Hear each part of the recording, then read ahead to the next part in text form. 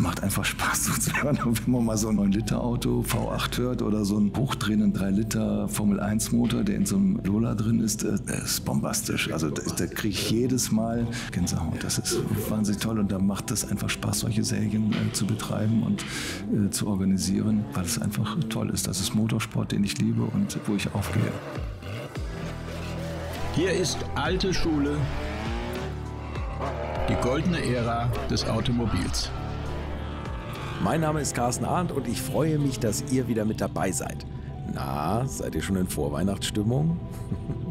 Wie trist kann ein Jahr bitte ausgehen? Aber einmal in der Woche gibt es ja noch die alte Schule und täglich bei mir auf YouTube ein buntes Video. So, und falls ihr jetzt gerade dabei seid, das kommende Jahr zu planen und noch zahlreiche ungefüllte Wochenenden im Kalender stehen, dann freut euch auf meinen heutigen Gast. Denn unter anderem haben wir es ihm zu verdanken, dass die ganzen schönen alten Rennwagen nicht in dunklen Garagen verrotten, sondern hin und wieder auch mal an die frische Luft dürfen und am Limit bewegt werden. Er ist der Mann hinter der FHR, der Fahrergemeinschaft Historische historischer Rennsport und darum soll es hier heute gehen. Und falls ihr auch schon immer mal mit dem Gedanken gespielt habt, in den historischen Motorsport einzusteigen, dann hört heute mal genau hin. Viel Spaß jetzt mit meinem Gast Michael Thier. Wie bist du eigentlich dazu gekommen? Also zum historischen Motorsport, zum historischen Motorsport zum, zum und Organisieren von Rennserien im historischen Motorsport. Beides eigentlich. Also was ist der Hintergrund? Du bist, bist du schon also mit Benzin im Blut aufgewachsen oder? Ja, also es fing mit meinem Vater an, der Motor verrückt war, Auto verrückt war, ähm, im Verkehrsministerium als Jurist gearbeitet hat, okay. mit mir zusammen schon, und das darf man heute gar nicht laut sagen, mit mir zusammen Mopeds frisiert hat mhm. und auch beim Autofrisieren immer dabei waren. Mhm.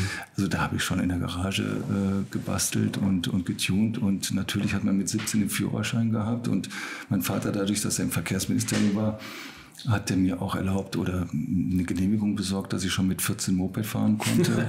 und, und, ähm, und ich weiß noch, ich musste ihm versprechen, dass wenn ich Autoführerschein habe, hat er mir ein nagelneues Auto geschenkt und ich musste ihm versprechen, dass ich kein Motorrad fahre oder mir kein Motorrad kaufe. Er war Jurist, er hat sich genauso ausgedrückt, kein Motorrad kaufen. Gefahren bin ich, aber ich durfte keins kaufen.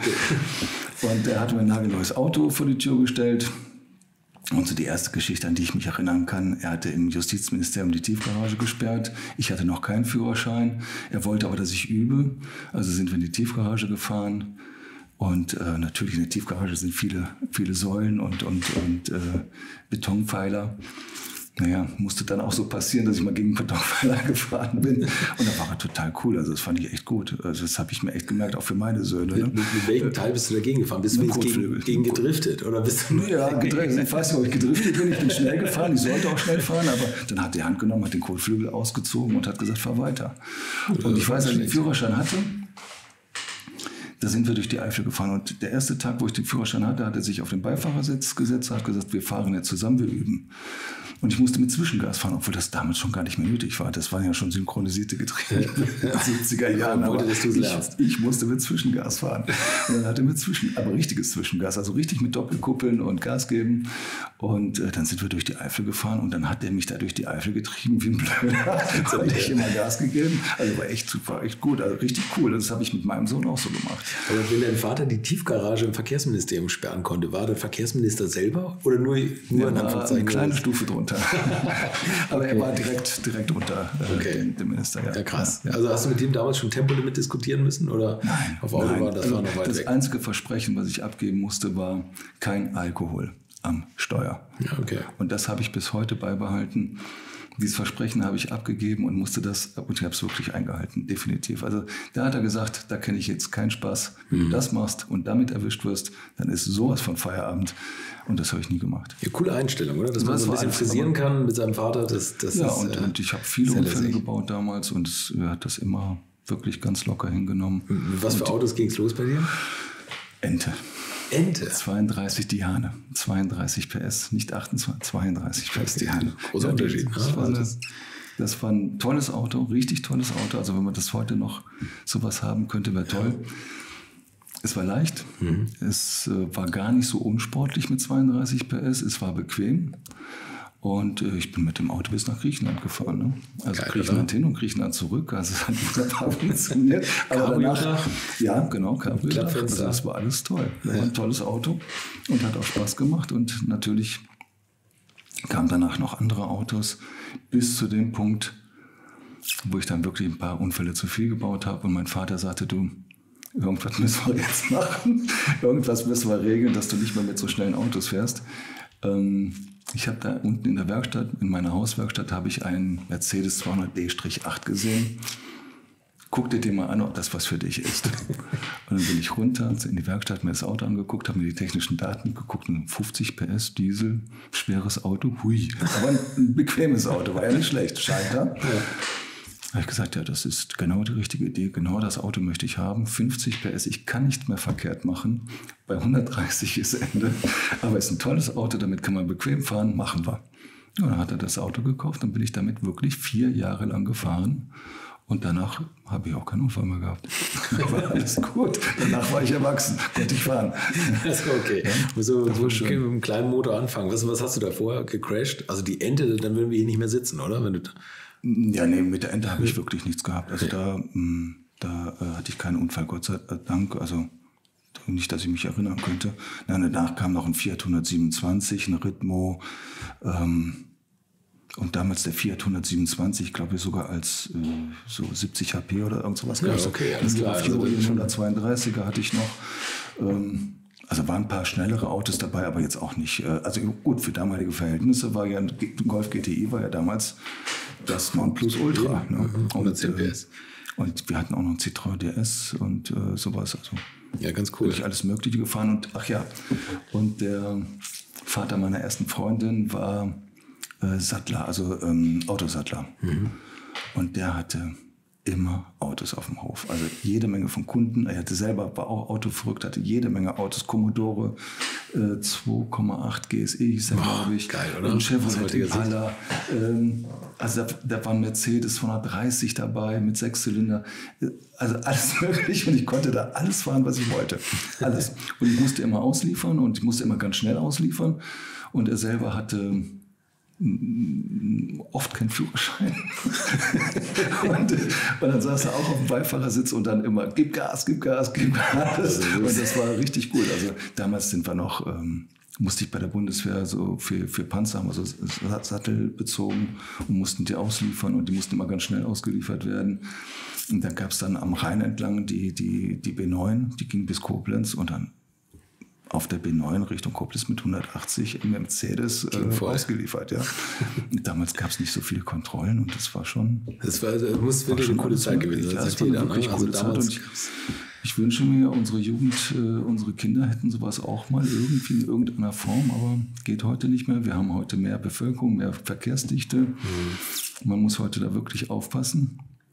Und wenn ich dann noch sehe, dass die Führerschein auf Probe machen, das ist schon ein anderes Thema. Eine heiße also Zeit heutzutage. Hatten ja. wir Gott sei Dank früher nicht. Aber deswegen bin ich froh, dass wir Rennstrecken haben. Und das ist, glaube ich, auch die Daseinsberechtigung.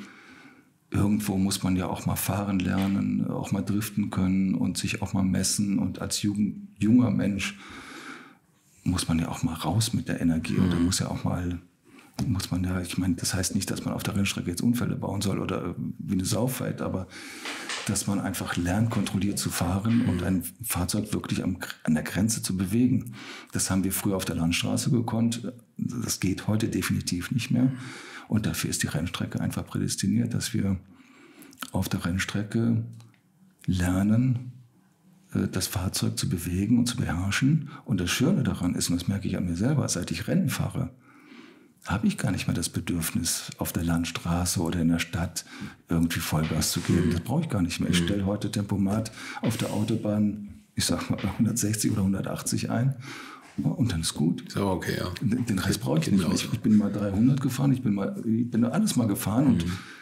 aber es ist gut. Und das, das einzig Schade ist nur, dass, dass die, die jungen Menschen heute so schnell so stark bestraft werden im Straßenverkehr. Mhm obwohl sie vielleicht vernünftig fahren, natürlich Rennen in der Stadt und so weiter. Gut, das haben wir früher gemacht. Aber das war natürlich damals schon Blödsinn hm. und ist heute noch mehr Blödsinn, keine Frage.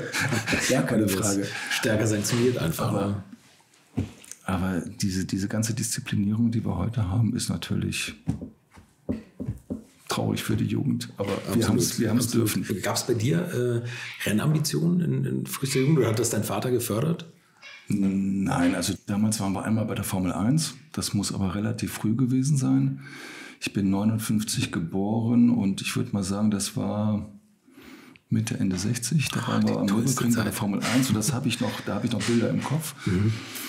Und dann war ich, also es ist ja das Verrückte, wir wohnen in der Nähe vom Nürburgring und ich war eigentlich so gut wie nie am Nürburgring. Also, also so weit ging es Das habe ich erst später, das habe ich erst später erfahren, dass es den Nürburgring gibt und dass man da hinfahren kann. Und, okay. und äh, aber aber ich war dann, wie gesagt, mit meinem Vater einmal bei Formel 1, das war schon ein Highlight. Mhm. Und äh, später war ich bei der DTM einmal. Und da weiß ich noch, ist, äh, das, also das Erinnerungen wie heute, DTM, Nürburgring, Chicotto und Klaus Ludwig. Es war eine Show, das war Wahnsinn. Mhm. Ich weiß aber nicht mal, welches Jahr das war. Ich weiß nur, dass Klaus Ludwig äh, Mercedes gefahren ist und der Chicotto BMW M3. Das muss also noch äh, Ende 80 gewesen sein. Rainer Braun wüsste es jetzt. Da könnt ihr auch die Fahrgestellnummer der Autos kurz runterfliegen. das wäre schön. Sagen, Aber was Chicotto an dem Tag noch. Ich kann mich daran erinnern, dass, dass Ludwig einen unglaublichen Vorsprung hatte und Chicotto durch irgendeine Boxenstoppstrategie oder äh, durch, ein, durch einen Schaden äh, ziemlich weit hinten nochmal äh, durchstarten musste und wahnsinnig aufgeholt hatte und ich glaube nachher sogar Gesamtdritter wurde. Ähm, also war, war ein tolles Rennen. Also es hat mich damals total bewegt. Aber wie gesagt, es war, obwohl man in Bonn wohnt und der Nürburgring nicht weit weg war, war das für uns gar nicht so das große Thema, nach, nach zum Nürburgring zu fahren. Aber das Rennen, da hast du schon den Entschluss gefasst, irgendwann die Tourenwagen Classics zu kaufen, oder? also, ja, irgendwann, wenn das historisch aber, wird, gehört die Rennserie. Aber natürlich, ähm, als es die Tourenwagen Classic, als die ins Leben gerufen wurde, hat man sich natürlich daran erinnert. Also, also keine Frage. Das also es war so, damals das, Erleb also, äh, das Erlebnis, das Highlight schlechthin. Und natürlich habe ich die jetzt auch die ganzen Jahre über verfolgt. Mhm. Und ähm, ich habe ja auch vor, vor inzwischen über fünf Jahren die FAR, also die Rennserien der FAR übernommen. Und natürlich guckt man dann auch rechts und links, was machen andere Rennserien. Und es war damals schon... Äh, ein großes Medienspektakel, die, die Turmbahn Classics. Und ein tolles Konzept, also mit, mit Profis und, den, und also den jetzigen Besitzern und den Profis von damals, mhm. die auf ein Auto zu setzen und, und zusammen fahren zu lassen. Also besser geht gar nicht. Und tolle Serie, ne? emotionale Autos. Absolute emotionale Serie, emotionale Autos, emotionale Rennen, auch heute noch. Ich meine, auch heute treffen Profis aufeinander, die sich auch damals getroffen haben mhm. und verstanden oder auch nicht verstanden ja. haben. Also da gibt es ja nochmal verschiedenste Couleur. Ähm, aber für die Zuschauer, man merkt es ja auch an den ganzen Zuschauerzahlen und, und äh, am, am, Interesse der Rennserie, dass, die, dass diese Rennserie zur rechten Zeit gekommen ist und äh, und die DTM in der Form, wie sie damals äh, stattgefunden hat, nämlich mit wirklichen Tourenwagen, Autos, die ich ähm, am, am Montag kaufen konnte, ähm, dass das die, die Leute interessiert und mhm. bewegt. Ja, und wenn, wenn man heute sich die, die moderne DTM anguckt, die sicherlich auch ihren Daseinsberechtigung hat, aber ich kann nicht an die Fahrer rankommen. Ich muss durch eine Glasscheibe gucken, um mhm. die Boxen äh, mir anzuschauen und auch nur einzelne Autos. Ich kann nicht alle Autos sehen. Ich habe ja gar keine Identifizierung als Zuschauer mehr zum Fahrer. Mhm. So, und wenn wir jetzt mit der, mit der Tourenbahn Classics im Fahrerlager stehen, dann sind wir ja offen für alle. Wir haben ein offenes Fahrerlager. Die, die, die Zuschauer können zu den alten Profifahrern, die zu den neuen was Fahrern. Die, was die an Selfies machen müssen jetzt. Ne? Ja, das hätten sie sich damals ja, auch nicht gedacht, nein, dass sie nochmal 30 Jahre später sind wir richtig ran müssen. Ne? Autogrammstunde, ja. ja. wo die Leute als Schlange stehen und sich die Autogramme nochmal einholen. Und die Leute auch nochmal sehen. Ich meine, das ist ja eine Zeitreise von, von äh, 30 Jahren. Mhm ich habe den Pfarrer vielleicht damals gesehen und ich sehe den Pfarrer heute. Und, und das sind ja auch nochmal, viele haben sich ja kaum verändert, aber es sind ja auch nochmal Welten dazwischen und, und das ist einfach schön. Ich glaube, für, fürs Publikum ist es einfach super interessant. Wir haben ja auch Rainer Braun als Streckensprecher mit mhm. dabei, der das genauso dokumentiert und, und uh, bespricht wie damals mit seiner Stimme, die ja nun mal einzigartig ist auf der Welt den jeder sofort wieder erkennt. Also mhm. da hat man nochmal die DTM in die heutige Zeit geholt. Und wenn man sich die Rennen anguckt, sie sind auch fast so spektakulär, also nicht ne? ganz so spektakulär, aber fast so spektakulär ja. wie damals. Ja. Auf jeden Fall ein sehr interessanter, hochemotionaler, historischer Motorsport oder klassischer Motorsport, ähm, der heute eigentlich aktueller ist denn je. Weil das ist das, was die Menschen wollen. Sie wollen am Wochenende an der Rennstrecke sein Sie wollen sich die Autos angucken, sie wollen die Technik sehen. Also die Leute, die historischen Motorsport begeistert sind, die Zuschauer, die wollen ihren Kindern auch die Technik zeigen. Die wollen auch mal einen Achtzylinder zeigen. Die wollen auch mal einen, ähm, einen Vergaser zeigen, einen Ansaugtrichter zeigen, äh, ein Cockpit zeigen oder auch mal ihre Söhne oder Töchter in, in ein Cockpit setzen. Das ist einfach Technik zum Anfassen und auch Technik, die man auch begreift. Das ist das Thema, ne? die man begreift die Technik und es findet eben nicht nur in irgendeiner schwarzen Kiste statt, wo Computertechnik alles, alles regelt und reguliert und so, sondern, sondern wo man einen Vergaser eindrehen konnte, wo man was hört, wo man was spürt und so. Das macht den historischen Motorsport aus. Du erst mal beruflich, warst du mal im Verlagsgeschäft tätig und hast dich da schon um historischen Motorsport ja, gekümmert. Ich komme, ne? komme ursprünglich aus der Unternehmensberatung. Ich habe SAP-Beratung gemacht, 25 okay. Jahre. Und ähm, habe dann durch den Verkauf der Firma habe ich ähm, ja, Zeit gehabt. Mal ein paar so, Wochen Luft gehabt. Mal ein paar Wochen Luft gehabt. Und ähm, da ich schon sehr früh angefangen habe, Bergrennen zu fahren, mhm. schon vor sag mal 25, 28 Jahren habe ich mit Bergrennen angefangen. Mit was für ein Wagen hast du angefangen? Ähm, ein Volvo Amazon, ein P122. Also ein ganz tolles Auto. Meine Frau hat es äh, geliebt. Ich habe es dann irgendwann mal verkauft. Das war sehr traurig, aber es, es musste mal sein. Ähm, ja, mit dem Volvo bin ich, den hatte ich mir damals auf, aufgebaut als Oldtimer. Ich habe Oldtimer immer geliebt und ähm, bin damit auch zur Firma gefahren, also zum, zum wo, ich, wo ich beraten habe. Mhm. Das war in Wuppertal. Und da hat mich ein Arbeitskollege angesprochen und sagte, boah, du hast da so ein, so ein, sieht da schon schnell aus, ist ein Oldtimer und, und äh, macht schon großes Brumm-Brumm. Also es war ein, war ein Volvo mit 200 PS. Okay. Der war Standard mit, hatte der glaube ich 100 120, oder 120 ne? PS. Ja, ne? Also war schon, war schon okay. ein toller Motor drin. Und ähm, da hat er mich angesprochen und sagte, du, wir fahren Bergrennen historisch, wir organisieren das privat. Hast du nicht mal Lust mitzufahren? Ich sage, Bergrennen hört sich gut an, Berg rauf und das ist alles, ja, ja. Und ich sage, nein, das ist alles gut, das, äh, wir sind da nur unter uns, das ist ganz, ganz äh, nette Geschichte. Ich habe ja, das, das wird mich interessieren. Will ich sehr gerne machen. Schnell gefahren bin ich schon immer gerne. So, dann zwei Wochen später, hast du einen Helm? Nee, ich sag, oh, wo soll ich? Als du das gesagt hast, ist total ungefährlich. Nee, besorg mal einen Helm, ist sicher. Also äh, ich weiß nicht, was die dann da bei der Rennstrecke sagen, mach mal einen Helm. Okay, also Helm besorgt, Sandler damals äh, angerufen, Helm bestellt, alles gut. Nochmal zwei Wochen später hast du einen Rennanzug. Ich sage, wie habe ich einen Rennanzug? Jürgen Schierer, mein Kollege, der, der hat mich da zum Rennsport, also zum, zum Bergrennen gebracht damals. Und ähm, ja, dann habe ich bei Sandler angerufen, die sagt, das Größte, was ihr habt. Also egal was, aber das muss das Größte sein, was ihr auf Lager habt. Das sind ja, weil ich bin mal zwei Meter lang. Ja. Da kam dann äh, ein Rennanzug Größe 64, so ein Bauch. und, und in der Länge passt es auch einigermaßen. Naja, dann sind wir so äh, zum ersten Bergrennen in die Eifel gefahren. Äh, das hieß damals Bengel. Das gibt es heute leider nicht mehr. War eine kleine Veranstaltung und äh, damals war das noch mit, mit einer Vorstrecke, wo man die Reifen warm fuhr und so. Und ich immer zum Jürgen, ich sagte, Jürgen, bin ich hier richtig? Ist das hier alles richtig? Also ich, ich fühle mich hier unwohl. Ich dachte, du sagst noch, zum Schluss hatte der Amazon noch einen Käfig, einen Renntag im Rennsitz. Oder nein, haben, das nein, haben das sie gelassen? Ja, also Gurt war, Gurt war okay, Pflicht, aber okay. alles andere brauchten wir damals nicht. Okay. Und ähm, da sagt er, du, alles gut, fahr erst mal und da wirst du sehen, macht Spaß. Naja, das Ergebnis war, es war eine GLP, die wir gefahren sind, mhm. so also eine historische Berg-GLP, aber natürlich jeder Vollgas hoch, weil wer schnell fährt, ist auch gleichmäßig. Und ich bin zufällig Dritter geworden okay. und war so angefixt davon. Ja dass ich danach jedes Bergrennen gefahren bin, was es in Deutschland gab. Äh, das hat so viel Spaß gemacht. Viele, viele Jahre sind wir gefahren. Und ich habe mich nie für die Rundstrecke interessiert. Also ich habe da auch nie hingeschaut. Also Bergrennen war meine Welt. Nie Nordschleife oder sowas Nein, gefahren? Mit Bergrennen okay. war meine Welt. Okay. Das, war, das war für mich, also viele finden das langweilig, aber es ist nicht langweilig, weil du musst auf den Punkt, ja. in den zwei Minuten, wo du den Berg hochfährst, wir haben ja verschiedene lange Rennstrecken, also zwischen ich sag mal, zwischen drei und sechs Kilometer. Es gibt auch ähm, Trento Bendone, das ist, äh, glaube ich, 16 Kilo oder 17 Kilometer. Oder das ist eine ganz andere, oder ja, Pikes Peak. Das, Nein, okay, da sieht man aber mal, wie anstrengend Bergrennen ja, sein kann. Ne? Ja.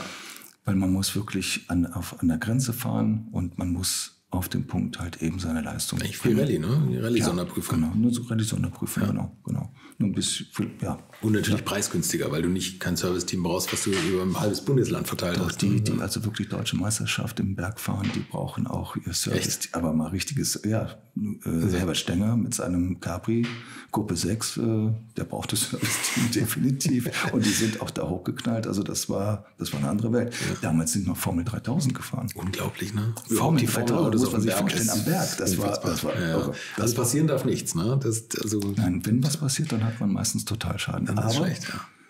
Das, äh, was, da, was ich damals mitgekriegt habe, oder das, was damals wirklich so war, das äh, war nicht, dass so viele Unfälle bergauf waren, sondern bergab. Also bei der Rückführung. Echt? Wenn, wenn da einer nicht aufgepasst hat, also man guckt sich die Landschaft ja, guckt okay, zum Zuschauer, ja, macht ja. mal den Winkel, macht mal da und auf einmal bremst einer vor einem und man kriegt es nicht mit, dann ist man hinten aufgefahren. Da ist mehr passiert als bergauf. Das ist so. Aber die Fahrerlagerstimmung, alles war, das war damals eine ganz, ganz tolle Zeit. Äh, hat sich heute auch ein bisschen gewandelt, aber es war immer ähm, auf dem Dorf, es war immer ein Dorffestcharakter. Mhm. Äh, die Leute kannten sich alle miteinander, es war familiär. Die, die Frauen haben Kuchen gebacken und haben das da verkauft und also Ey, abends Rennsport, wie man es will, ne? Ja, und vermisst. abends gab es Rambazamba-Musik Ja. und Tanz und Schwurf und äh, also es war einfach toll. Und wie gesagt, so bin ich überhaupt zum, äh, zum, zum Rennsport gekommen. Und ähm, äh, viel später wollte ich unbedingt Porsche fahren. Ich wollte unbedingt einen Porsche haben, 911er, F-Modell, musste sein. Ich wusste aber nicht, ob ich reinpasse und ich habe dann äh, in Leverkusen einen Händler gefunden, wo ich dann auch mal Probe sitzen konnte. Ich passte da rein. Das lag aber nur daran, dass der Sitz so durchgenudelt war, dass, dass ich definitiv auf dem Boden saß. Äh, aber den habe ich mir dann fertig gemacht und äh, bin damit auch Bergrennen gefahren. Habe dann später äh, Krämer Racing kennengelernt. Ja, okay. Damals war Manfred Krämer aber in Spanien und der Erwin Krämer war, der war schon gestorben, ja. Genau, Erwin Krämer war schon gestorben und der Uwe Sauer, sein äh, damaliger Chefmechaniker, der war Geschäftsführer und den habe ich kennengelernt. Wir haben uns super gut verstanden, sehr gut verstanden. Damals ging es der Firma nicht ganz so gut. War in Köln, war hier in der Nähe und ähm, dann gab es einen Walter und dieser Walter hat alle Motoren bei Krämer Racing gemacht, über 40 Jahre. Und Walter ist, wenn man Walter kennt, es ist ein äh, mega, mega Mechaniker und ein super netter Typ. Okay. Und wir haben uns auf Anhieb gut verstanden. Und ich habe gesagt, wenn ich nochmal einen Porsche mache, dann macht der Walter den Motor und dann baut Krämer dem, das Auto auf. Und das habe ich gemacht. Habe mit viel Tränen meinen ersten Porsche verkauft und habe dann bei Krämer ein, ein Krämer ST aufbauen lassen. Hoppla, aber das ist schon, da meinst du es dann schon ernst, ne? Ja, das war, war, war gut. Also es war, war auch alles, äh, war alles prima. Also es, das Auto, und das muss ich wirklich sagen, äh, natürlich kommt Krämer von der Rundstrecke und natürlich haben wir den ersten Testlauf in, in Spa gemacht. Okay, gleich mal eine anspruchsvolle Strecke. Und ich war das ja nicht gewohnt und ich war auch ganz, bin ganz naiv rangegangen. Auf jeden Fall äh, Probelauf gemacht. Das Auto lief von Anfang an total gut und der Motor lief und alles war perfekt. Ähm, Walter war ein bisschen nervös, weil ich sollte erstmal warm fahren und einfahren und aber da sitzt du im Auto und letztendlich bin ich drei Runden eingefahren und danach habe ich keine Runde gegeben und das war richtig, das hat Spaß gemacht auf der Rundstrecke und habe ich gemerkt, dass die Rundstrecke gar nicht mal so schlecht ist. Also immer noch nicht Bergrennen, aber es war, war auch okay, ne? war, war schön. Und so bin ich dann, ähm, ich habe dann später mal den Ebert Baunach kennengelernt, der heute Krämer übernommen hat. Und dann waren wir in, in Zolder, sind zusammen in Zolder gefahren. Aber so, so mehr Trackday. Naja, auf jeden Fall war ich so ein bisschen in der Rundstrecke drin und habe dann einfach den Unterschied erfahren zwischen Rundstrecke und Bergrennen und dass Rundstrecke auch, auch sehr nett ist. Dann hatte ich einen, dann hatte ich äh, in der Tat einen Verlag gegründet und ähm, hatte zufällig ein sehr großes Bildarchiv gekauft. Wahrscheinlich weltweit das größte Nordschleifenarchiv. Tatsächlich? Ja. Habe ich unten im Keller, sind weit über 200.000 Bilder. Was? Ich habe mal einen kleinen, klitzekleinen Teil eingescannt. Ich glaube, 60.000 Bilder habe ich letztendlich gescannt, aber den Rest noch nicht.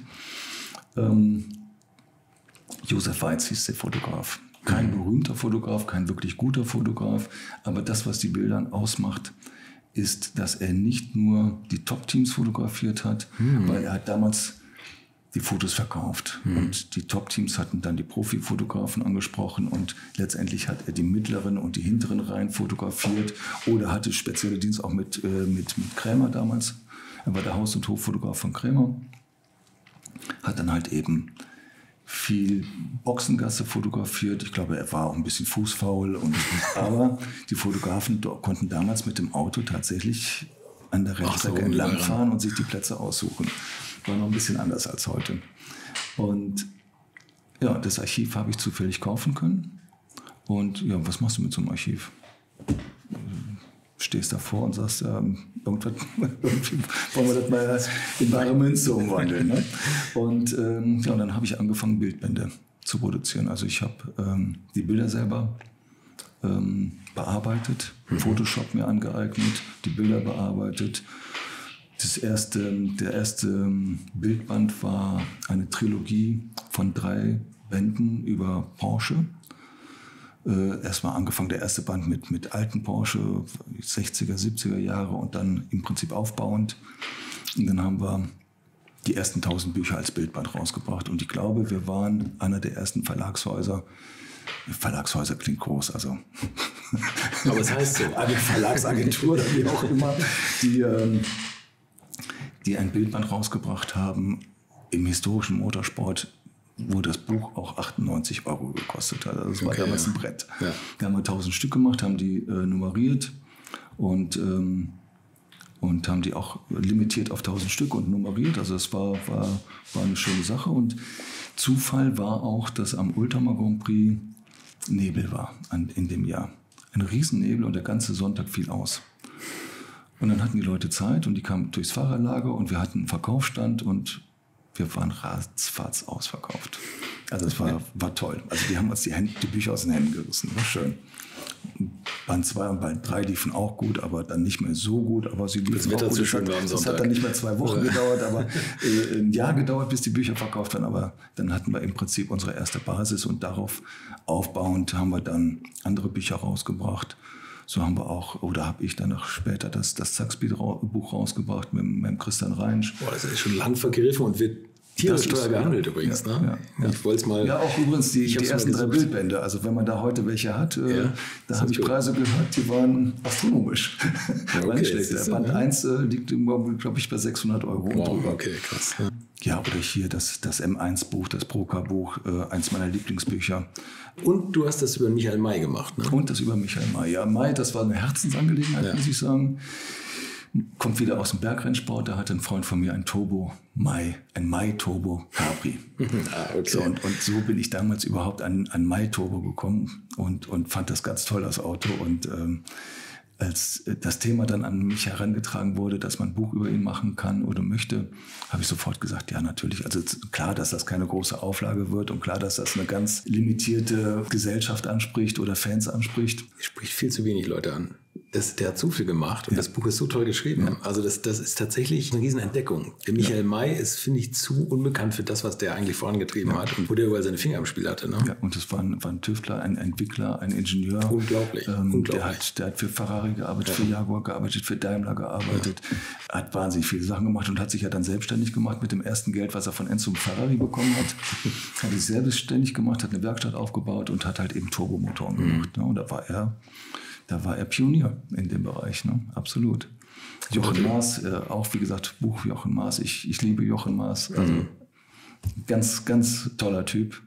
Ganz toller Typ. Äh, und was der für Geschichten erzählt, ist ja, super interessant. Halt gute Zeit miterlebt. Ne? Super interessant. Und das Schöne ist, die, die FAR, die Fahrergemeinschaft Historischer Rennsport, hatte eine Kooperation äh, mit Mercedes. Mhm. Und Mercedes hatte damals ein ganz tolles Konzept. Maß, ne? Damals war noch Michael Bock in der Klassikabteilung.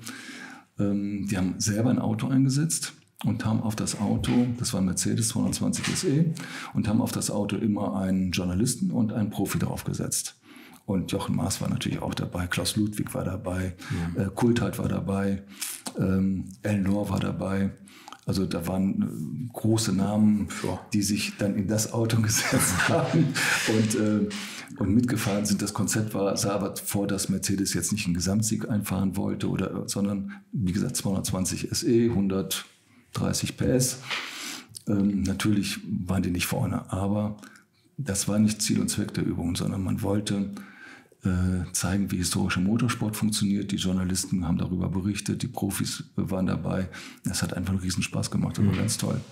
Das war ein tolles Konzept, leider hat Mercedes das Konzept eingestellt, aber es wäre schön, wenn wir sowas nochmal hätten, Idee, zum Beispiel ne? auch bei der Tourman ja, Classics, ja, genau, ja, dass man da nochmal so ein bisschen Werkseinsatz hat, wo man wo man einen, einen Profifahrer mit Werksunterstützung vielleicht mal äh, an der Rennstrecke einsetzt und das auch entsprechend medial äh, begleitet. Ne? Ehrlich gesagt, wär toll. Wie, wie also früher, ne? früher haben die auch ihre Fahrer gehabt und das an die Privatteams verliehen, ne? teilweise, oder hergegeben. BMW hat das ja so gemacht.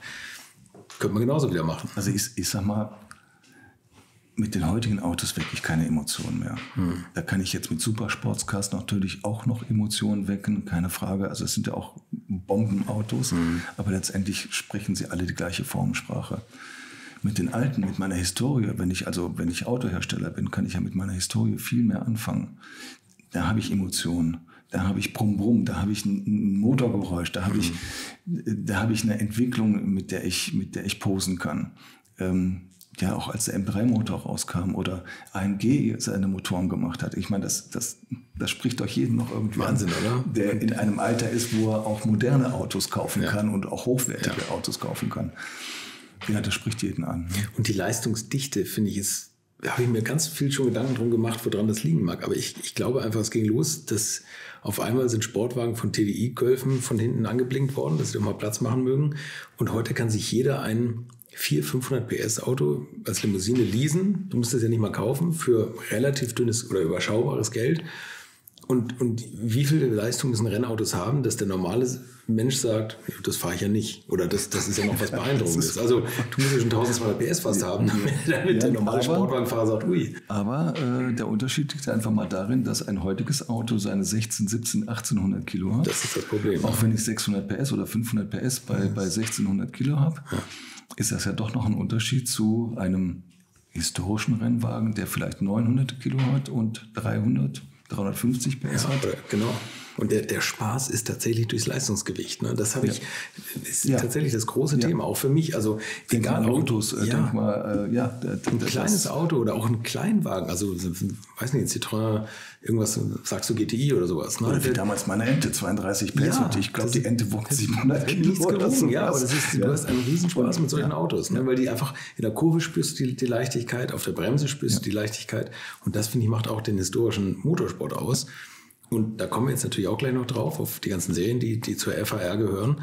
Aber es ist, man denkt immer so, naja, es ist ein Auto aus den 60ern. Und auch wenn das kein Top-Class-Auto ist, wie jetzt ein Ferrari irgendwas oder so, die haben Leistung, also die, die haben gar nicht so viel Leistung, aber die haben ein Leistungsgewicht, was fantastisch ist, was du heute kaum in irgendwelchen Rennwagen hast. Und die beschleunigen wie die Teufel. Ne? Du guck hast, dir, guck dir Fahrerlager die Fahrer an, wie die privat fahren. Mhm. Ja, da haben sie so einen Supersportwagen.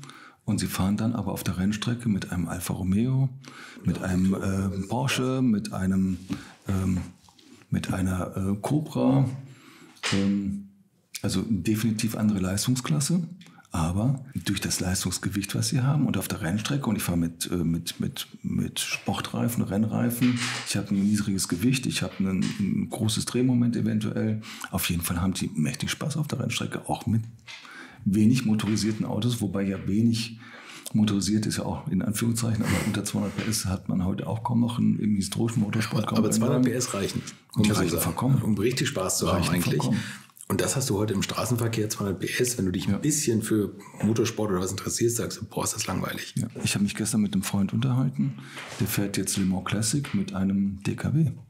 Ja, ja. Das, und, das freut sich man sich darauf, äh, weil er sagt, das ist Historie. Das Auto ist damals äh, auf der Rennstrecke gefahren, ist auch Le Mans gefahren. Und äh, wie schnell das ist, oder das geht ja nicht darum, sondern es geht darum, den Spaß zu haben und dieses Auto an seinem Limit zu fahren. Ja. Und das ist die Herausforderung und das ist der Spaß an der ganzen Geschichte. Habt ihr eigentlich schon alle Weihnachtsgeschenke? Falls nicht, dann schaut doch mal auf die Seite www.70love.de, denn dort gibt es zum Beispiel einen Retro-Tenniskoffer, in den man auch alles andere reinpacken kann, wenn man nur ein bisschen Fan des alten Looks ist. Und das sind wir hier doch alle so ein bisschen, oder? Die wir uns hier in der alten Schule versammeln. Außerdem gibt es dort alte Schuleaufkleber für alle, die noch eine leere Stelle auf ihrem Auto haben. Also www.70love.de 70love.de ist die Adresse und mit dem Code Alte Schule bekommt ihr den Tenniskoffer momentan sogar zum halben Preis. Und jetzt zurück zu Michael Thier und ich glaube, den Rennoverall, wenn ihr historischen Motorsport betreibt, der passt auch wunderbar in den Tenniskoffer rein.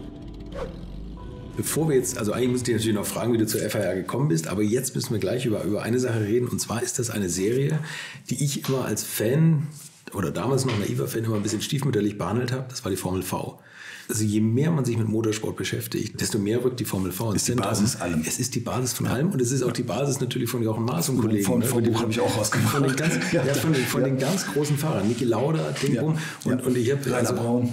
Eben, und eben durch meine Talks mit Rainer Braun fällt natürlich immer wieder Formel V und ist auch Formel V gefahren und ist hier und die ganzen Rennen und die Strecken, die, die, also egal wo, Flugplatzrennen, überall ist immer Formel V dabei gewesen. Und das habt ihr natürlich auch äh, in Ja, eurer also Klasse. das haben wir in unserem, in unserem gesamten Portfolio der Fahrergemeinschaft historischer Rennsport haben wir auch die Formel V dabei. Das ist sensationell, Die sich- oder? Die, die Anfänge habe ich noch mitgekriegt, die sind nämlich am Anfang Berg gefahren. Mhm. Ja, und äh, mein, mein, mein Freund Lothar, den ich da, von damals noch kenne, der hat die Formel V damals in, ins Leben gerufen. Und die Formel V, das waren damals, also wir haben die immer etwas belächelt. ja, absolut. Aber es sind tolle Autos. Aber ne? es hat sich unglaublich entwickelt über die Jahre. Die Autos haben heute auch einen Wert. Mhm. Und alles, was Wert hat, wird dann auch gepflegt und gehegt und wird dann auch auf Neuzustand gebracht. Damals war das alles nur so ganz billiger Motorsport halt eben. Ne? Also damals, jetzt vor 30 Jahren, ganz, ganz damals, als die ganz äh, neu waren, die Formel V, war das natürlich ein Einstiegssport für, für viele Profis. Alles auf War Käferbasis. bezahlbar, war reparierbar, war VW-Technik. Tolles äh, Format, keine Frage. Absolut. Ne? Und du hast natürlich das Fahren gelernt, was ja immer Christian Menzel immer sagt. Je weniger man einstellen kann, desto mehr kommt es auf dem Fahrrad drauf an. Du kannst mit Reifenluftdruck ein bisschen was machen und ein bisschen Spursturz, bumm. Ja, so, ne? genau. Keine Aero, nichts. Und, und du genau. musstest einfach Tempo mitnehmen aus der Kurve in die Kurve und, und Purer Motorsport. sauber, eine saubere Linie fahren. Ne? Und das ist das Tolle. Und ich, Und wie Schwung gesagt, also, und Schwung mitnehmen. Und ich bereue das wirklich, dass ich das damals nicht mehr verfolgt habe. Also damals heißt bei mir Oldtimer Grand Prix 90er vielleicht. Ne? Also da war das billiger Motorsport, genau das, was du gesagt hast. So, Das waren so die Formelautos und dann hast du gedacht, wann kommen die Can-Am? Das interessiert mich mehr, ne? oder die Supersports oder was. Aber im, im Nachhinein betrachtet ist das richtig cooler Motorsport. Aber heute auch schon wieder ein Tick teurer, weil die Autos einfach begehrter geworden Ja, sind. es Ne? ist noch Breitensport. Also das ist wirklich Ja. noch Breitensport. Ich kann jetzt nicht keine Preise nennen, weil ich die einfach nicht, nicht weiß. Aber Ja. ich sage mal, ein Formel V kriegt man mit Sicherheit unter 20.000. Ja, das glaube ich auch, Und ja. ähm, Motorrevision liegt sicherlich noch im, im, im fünfstelligen Fünfstellig? Ja, fünfstellig. Nein, vierstelligen Bereich. Vierstellig. Entschuldigung. Im, im, Im niedrigen sechsstelligen Bereich. Also, Ja, ja. Also, das ist schon noch bezahlbar. Und, und ähm, die Formel V hat sich äh, wahnsinnig gemausert. Das sind, glaube ich, inzwischen teilweise 50 Fahrer am Start. Und je mehr Teilnehmer ich habe, umso günstiger kann ich dann auch das Nenngeld machen, weil die Streckenmiete ist immer da, egal wie viele Autos ich bringe. Und dadurch habe ich einen sehr günstigen, schönen Einstiegssport, der Spaß macht, eine schöne Gemeinschaft. Und das macht Spaß, das ist, ist eine tolle Sache. Ja. Wie ist das bei dir überhaupt zur FAR gekommen? Also ich gehe davon aus, als du deinen Verlag hattest, bist du immer weiter Rennen gefahren, irgendwann mehr Rundstrecke auch. Wenig, ja, auch ab und zu. Ne? Also es war jetzt nicht, dass ich Serien gefahren bin oder eine Meisterschaft gefahren bin. Ich bin ein bisschen äh, Berg gefahren und ich bin ein bisschen Rundstrecke gefahren, aber so, wie es mir gerade so Spaß gemacht hat. ST von Kremer. Genau, genau. Ja, durch den Verlag habe ich halt eben den damaligen Organisator der FAR kennengelernt, äh, weil wir da auch medienmäßig zusammengearbeitet haben. Und er wollte sich irgendwann, hatte er sich ein anderes Hobby ausgesucht und äh, wollte den seinem neuen Hobby mehr frönen. Er wollte auch auswandern und äh, hatte dann einfach mal so in die Runde gefragt, ich habe hier eine Renn äh, die FAR und ich habe hier ein paar Rennserien und ich brauche jemanden, der das neu übernimmt. Ne? Und ich habe das ja noch nie gemacht. Auf dem Verlag hatte ich ja nie gemacht. Das war ja Neuland und ich liebe solche Herausforderungen. Und ähm, ja, dann habe ich mir das Ganze angeschaut. Er hat mich mit auf die Rennstrecke genommen. Ein paar Fahrer kannte ich schon, ein paar Fahrzeuge kannte ich. Also ich war ja schon so ein bisschen in der Szene drin. Und das hat mir sehr gut gefallen. Und dann habe ich das übernommen und habe es äh, jetzt äh, im sechsten Jahr leite ich das Ganze. Und äh, macht einen Riesenspaß. Es ist im Prinzip Hobby zum Beruf. Also muss man Ja, wirklich so absolut. sagen. Also das Maximum Hobby zum Beruf. Ist, also äh, ist, ich freue mich, wenn die Rennen wieder beginnen. Und dieses Jahr war natürlich ein bisschen bescheiden. Das war nicht das, was ich wollte. Aber nichtsdestotrotz haben wir auch dieses Jahr gut äh, über die Runde gebracht. Wir haben, ich habe jetzt in den Jahren noch mehr Rennserien dazu genommen. Ich habe eine deutsche Meisterschaft eingeführt mit dem DMSB zusammen, was, was ganz toll funktioniert mhm. und inzwischen auch wirklich äh, Anerkennung findet. Das ist die einzige historische Serie, ne? Die das DMSB ist die einzige deutsche Meisterschaft, die deutsche Meisterschaft, die der DMSB ja. als Prädikat ausschreibt. Ja, mhm. ja. Und das kommt langsam auch ein bisschen im Ausland an, weil auch ausländische Fahrer können deutscher Meister werden. Mhm. Wir äh, bieten die Serie als, als internationale Serie an mit, mit ausländischer Beteiligung und somit kann auch ein, ein Schweizer, ein Österreicher deutscher Meister werden. Mhm. Ja, das ist, ist ein schönes Format und mein Ansehen war ja eigentlich, dass man mit der deutschen Meisterschaft das auch mehr in die Breite trägt, dass, dass mehr Interesse da ist am mhm. historischen Motorsport und dass wir in Deutschland den historischen Motorsport auch weiter fördern und mehr in die Breite tragen, weil das ist unheimlich wichtig. Wir brauchen Nachwuchs. Ähm, leider gehen auch Fahrer aus Deutschland ins Ausland und fahren auch im Ausland. Und ähm, ich würde mich natürlich freuen, wenn man wenn man in Deutschland schon historischen Motorsport betreibt, dass man natürlich auch möglichst viele Fahrer hier dafür begeistert, dass hier in Deutschland eine schöne Serie läuft und mit tollen Leuten, mit tollen Fahrern. Wir haben ja auch Profis mit dabei, die sich im Cockpit mit dem Fahrzeugeigentümer teilen. Wir haben eine tolle Atmosphäre, wir haben ein tolles Reglement. Wir haben als einzige historische Rennserie, ich will nicht sagen weltweit, aber europaweit, eine Langstrecke wo wir mindestens zwei Stunden fahren und bis zu vier Stunden fahren. Mhm. Wir werden dieses Jahr dank des ADAC auch ein 1000 Kilometer Rennen fahren. Das ist der Henning Meyers-Renken, der mit dem ADAC dieses, dieses Rennen oder dieses Format aufgegriffen hat. War schon immer ein Traum auch von mir, dieses 1000 Kilometer Rennen zu machen. War auch schon mal von Anfang an eine Idee, mhm. weil 1000 Kilometer Rennen ist 1000 Kilometer Rennen. Also das, ist, das ist einfach mega. Und da jetzt mitzufahren, die Problematik ist natürlich Nordschleife. Es gibt viele Fahrer, die die Nordschleife meiden und wir haben auch noch die Problematik des Permits. Also man muss eine bestimmte Lizenz machen für die Nordschleife. Das machen wir immer im Vorfeld des Rennens. Das heißt, einen Tag vor dem Rennen gibt es bei uns einen Lehrgang, den man besuchen kann und dann bekommt man den Permit und, und kann dann mit diesem Permit auf der Nordschleife Rennen fahren.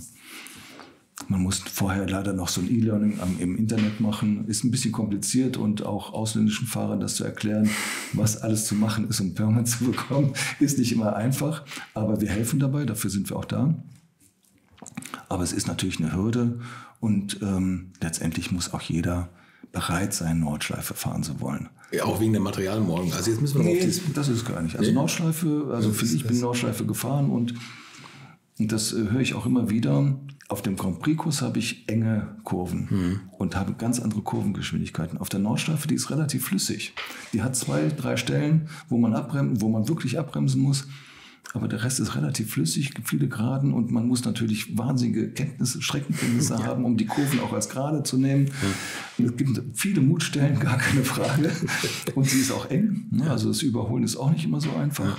Aber die Nordschleife ist schon cool und das ist schon Kult und ich glaube, wir können jedes Jahr froh sein, wo wir die Nordschleife haben und sie fahren können. Absolut. Das ist übrigens so ein Damoklesschwert, was irgendwie seitdem ich die besuche, denke ich mir, mein Gott, ist das toll, dass es sowas noch gibt. Und jedes Jahr kriegt man immer von irgendwie Leuten so eingeimpft, ja, nicht mehr lange.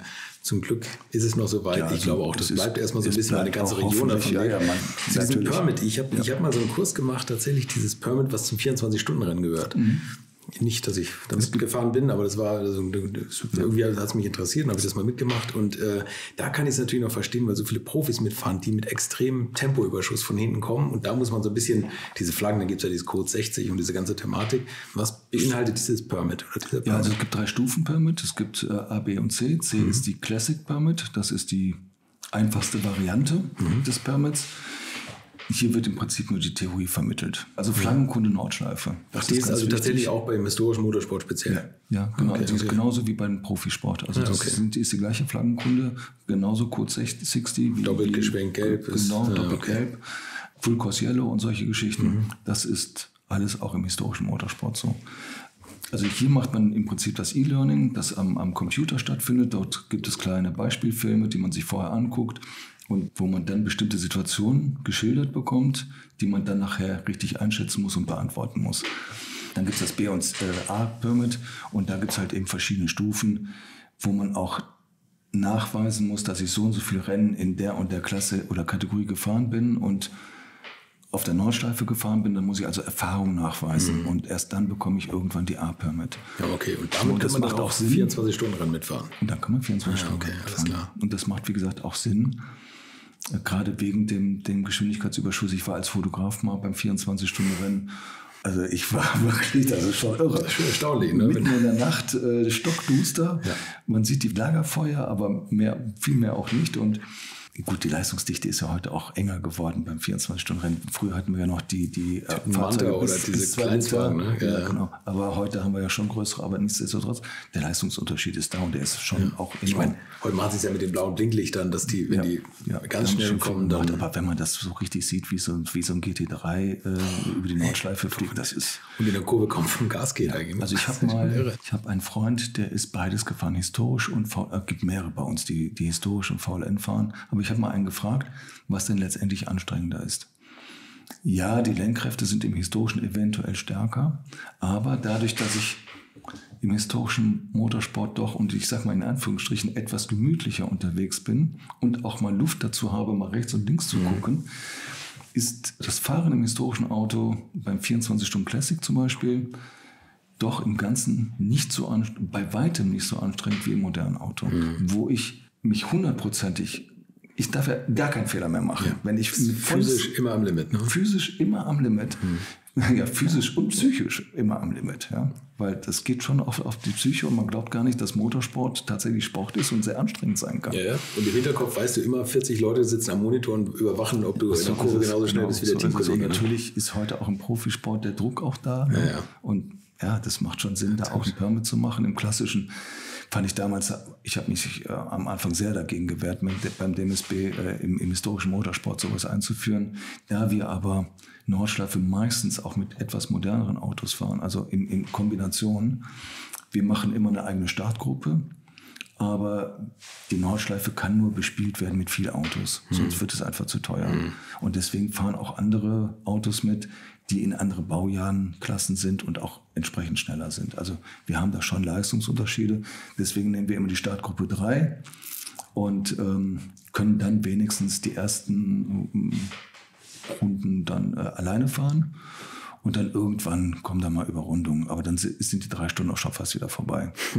ja, und so macht es Sinn. Und so ist es auch bezahlbarer Motorsport geblieben, dadurch, dass wir teilweise beim, beim 24-Stunden-Classic mit 210 Autos fahren. Ne? Also aus der FAR kommen rund 50, 60 Autos und der Rest äh, wird anderweitig bestückt äh, durch die Youngtimer. Und dann haben wir 210 Autos. Das ist natürlich Schon ein Feld auch für die Fans übrigens. ja, ne? natürlich. Und, und wenn, man, ne? wenn man mal an der Nordschleife steht und sich die Fans anguckt und, und auch mal mit denen redet, jedes Mal totale Begeisterung über Mhm. die Classic, ja, weil die sagen, guck mal, das Auto habe ich früher gefahren und das bin ich mal gefahren und guck mal, da ist ein Kadett und da ist ein Ja. Escort und, Ja. äh, und da, da auch ein alter Porsche, ja. Ähm, das sind die total Die fangen vor allem schon an zu reden über das Auto, bevor es noch drei Kurven weg ist, weil sie es am Sound erkennen. Ne? Das ist ja heute auch ja, nicht mehr der Fall. Ja, ja, so, stimmt. ich, ich war bei der DTM am Nürburgring, da hatten wir auch mal ein Classic-Programm äh, abgewickelt, was unheimlich viel Spaß gemacht hat. Und da habe ich mir auch die moderne DTM zum ersten Mal wieder angeguckt. Und ähm, ja, natürlich, ich will das jetzt nicht mindern. Es ist Nee, eine tolle Serie und es Ja, ist ja. äh, toll gelaufen und die sind auch richtig schnell, aber die Geräusche waren alle gleich. Also man hört nur Bsum, Bsum, Bsum. Und wenn man im Historischen guckt oder auch damals die DTM guckt, da hat man die Autos wirklich erkannt. Ja. Und das ist heute auch so. Ich erkenne einen 12-Zylinder, 8-Zylinder, 6-Zylinder, Ja, 4-Zylinder. oder? Ich, ich weiß, was da kommt. Ne? Und Da das gibt es einen, der spuckt Flammen und der Ja, andere, der, der kommt ja. an der Seite raus und beim nächsten hinten und was. Das ist, Ja, das ist einfach das ein, ein ist Riesenspaß. einfach ne? auch für Zuschauer viel interessanter. Allerdings wird da auch natürlich, ist auch im historischen Motorsport die Leistungsdichte nicht immer so eng Hm. und schon mal weiter gefächert. Und natürlich, wenn ich jetzt, das ist das, das kleine Dilemma, wenn ich jetzt ähm, auf dem Grand Prix-Kurs bin und habe 20 Autos, dann ist das auch nicht schön. Ne? Das ist schöner, wenn wir mit 40 Autos fahren. Das haben wir ja auch, Gott sei Dank, dass wir 40 oder 50 Autos im Langstreckenrennen haben. Und dann wird's richtig interessant. Ähm, dann gibt's Überholvorgänge, dann gibt es äh, Fights, dann ähm, gibt's Boxenstopp-Strategie und äh, dann ist dann ist alles da, was man braucht. Und, ich finde auch als Zuschauer, gerade wenn so viele Autos dabei sind, du weißt ja eigentlich, es geht um nichts, was man, wo man auf den ersten Blick sagen könnte, oh, das macht das Ganze langweilig. Aber ich finde, man hat immer Autos, an denen man sich festbeißt, wo ein Fahrer mit dem Messer zwischen den Zähnen fährt, der immer für Unterhaltung sorgt. Ne? Also da hat man immer mindestens fünf, sechs Autos und als Fotograf, und das finde ich so toll, was ich ja auch manchmal gemacht habe, du hörst schon lange, bevor der Abflug kommt, dass, da, dass der Motor gerade noch viel zu laut ist für die Stelle, wo er eigentlich bremsen müsst. Ja, ja. Dann kann man schon mal hingucken und, und man das kann ist, das wirklich das toll verfolgen. Am, am Rüberkriegen ist es die erste Nachtstart-Zielkurve, ja, wo viele stehen und wo, wo es immer interessant ist und gerade in der Startphase. Also historischer Motorsport und Startphase kriege ich Gänsehaut. Ja, das ist also wirklich da, da toll. bin ich jedes Mal begeistert von und ich bin immer wieder begeistert, wie viele interessante Autos bei uns starten. Hm. Auch gerade, wir haben äh, eine neue Serie, die wir jetzt erst ein paar Jahren haben, das ist die 100-Meilen-Trophy die wir jetzt umbenennen werden nächstes Jahr in, in Ken M Sports Cars. Mega Autos. Mega. Also das, das ist alles vertreten, was hochleistungsfähig ist, also mit, mit starken Motoren. Da haben wir Autos bis 1990, da haben wir die Ken M da haben wir äh, Supersportcars, ne? da haben wir, ähm, ja, Gruppe C kann da auch mitfahren, aber da werden wir nächstes Jahr eine neue Rennserie machen, okay. die nur Gruppe C äh, beinhaltet. Wir haben GT-Fahrzeuge, Tourenwagen dabei. Äh, da fährt auch ein Escort mit, da fährt ein äh, Porsche 911 RSR mit. Ähm, da fahren verschiedene äh, ähm, Prototypen mit. Also da ist ein sehr, sehr großer Mix, die trotzdem von der Leistung her relativ gut miteinander äh, harmonieren und äh, die einfach super gut zusammenpassen. Und so, so Starterfelder, also wenn, wenn man da einen Start sieht, das ist, ich meine, gut, vorneweg die Can-App, aber auch nicht unbedingt immer die Can-App. Das kann auch mal ein Sportprototyp sein. Ein Lola T290 zum Beispiel von Felix Haas, der ist auch immer gut dabei, ganz vorne. es macht einfach Spaß zuzuhören. Und wenn man mal so ein, wenn man mal so ein 9-Liter-Auto V8 hört oder so ein hochdrehenden 3-Liter Formel-1-Motor, der in so einem äh, Lola drin ist, äh, ist bombastisch. also bombastisch. Da, da kriege ich also, jedes Mal ja, da kriege ich jedes Mal wirklich Gänsehaut. Ja, das ist so, du aber sagst, toll und da macht es einfach Spaß, solche Serien äh, zu betreiben und äh, zu organisieren weil es, weil es einfach toll ist. Das ist Motorsport, den ich liebe und äh, wo ich aufgehe. Ne? Und wo, auch, wo man auch merkt, die Zuschauer sind dabei. Und, und auch bei der Langstrecke. Bei der Langstrecke haben wir natürlich ganz andere Herausforderungen, äh, die, die einfach auf die Dauer gehen. Und, und wenn man äh, im Sommer fährt bei 30, 40 Grad im Schatten, das geht an die Grenzen. Ne? Mhm. Und, und das ist das, was die Fahrer ja lieben. Die wollen ihre Grenzen haben. Ne, fahrerisch wie auch körperlich. Ne? Ja, ja und, und die, wenn man sieht, wie alt Rennfahrer werden, also das ist Sport. Definitiv. Wenn Sie, das wenn Sie Ihre aktive Karriere überlebt haben, werden die wirklich steinalt. Das ja. ist mir auch schon ja. aufgefallen. Ja, ich profitiere da sehr von übrigens. Es ist sogar wissenschaftlich erwiesen, dass der Motorsport durch, durch die Ausschüttung von Adrenalin und dadurch, dass die, dass die Venen sich immer sehr stark äh, kurzfristig ausdehnen und wieder zusammenziehen äh, und letztendlich jeder, der Motorsport betreibt, macht auch Privatsport. Mhm, also es ja, animiert alle, auch privat Konditionstraining zu machen mhm. und aufzubauen. Und deswegen sind alle eigentlich kerngesund. Die, es gibt natürlich auch noch ein paar Raucher bei uns, aber relativ selten. Und letztendlich macht jeder Sport und achtet jeder auf seinen Körper, dass er auf der Rennstrecke fit ist und auch eine Langstrecke durchhalten kann. Das ist wirklich nicht ohne. Ja, wenn man sieht, wie die aussteigen oder teilweise ja, aus dem Auto kriegen, ja, ne? das ist schon gut. Also da jetzt übrigens gerade die, die Serie, das ist natürlich äh, die 100-Meilen-Trophy, das schon High-End eigentlich, ne? ja, also vom Sport. Das, ja. da, da geht schon richtig um Geld. Wenn du sagst, wir brauchen Nachwuchs, ist wahrscheinlich die Klasse nicht so prädestiniert dafür. Äh, was, wo geht's denn bei dir los? Oder was Letztendlich ist in, in, allen Klassen. Letztendlich in allen Klassen. Also für mich persönlich die Einsteigerklasse ist die HTGT. Das ist die ähm, HTGT um die Dunlop Trophy. Das sind Sprintrennen mit einer Stunde äh, Fahrzeit. Ja, Titus Dittmann hat davon geschwärmt. Der fährt ja mit, seiner, mit ja. seinem Ford Mustang. Ne? Ja, der ist also früher viel gefahren. Ja, genau. Erzählt er bei mir im Podcast. Den sehe ich ab und zu mal. Ja, also wir, wir, wir, sagen schon mal Hallo. Und ähm, früher ist er öfter bei uns gefahren. Der ist mhm. aber auch 24 Stunden Rennen ja, gefahren. Ja, genau, mit seiner also. Er hat schon vorher, früher Vollgas gegeben. ähm, ja, also das ist für mich so die Einsteigerklasse, weil einmal es ist ein Stundenrennen. Mhm. Äh, man kann zu zweit fahren. Man kann, es gibt einen Pflichtboxenstopp. Also nach der Hälfte der Rennzeit wechselt man oder man fährt durch. Den Pflichtboxenstopp muss jeder machen, auch wenn er alleine fährt. Aber ich kann die Stunde alleine fahren. Aber ich kann auch äh, nach einer halben Stunde sagen, ich, ich teile mir den Fahrerplatz mit einem zweiten Fahrer. Dadurch ist die HTGT und die Dunlop Trophy relativ günstig. Also ein günstiger Einsteigersport. Mhm. Ich werde nächstes Jahr auch den, den Preis nochmal senken weil wir die Trainings zusammenlegen mit der Langstrecke und ich versuche dann Langstrecke und HTGD immer zusammen zu haben und dann können wir die Trainingzeit teilen. Mhm. Und dadurch wird die HTGT und auch die Langstrecke natürlich, aber die HTGT vor allen Dingen günstiger. Und da möchte ich im Prinzip, da sehe ich die Einsteigerklasse. Also da sieht man auch viele, das, das hat sich in den letzten Jahren so entwickelt, viele Vater-Sohn mhm. Geschichten. Oder wir haben jetzt auch Vater-Tochter.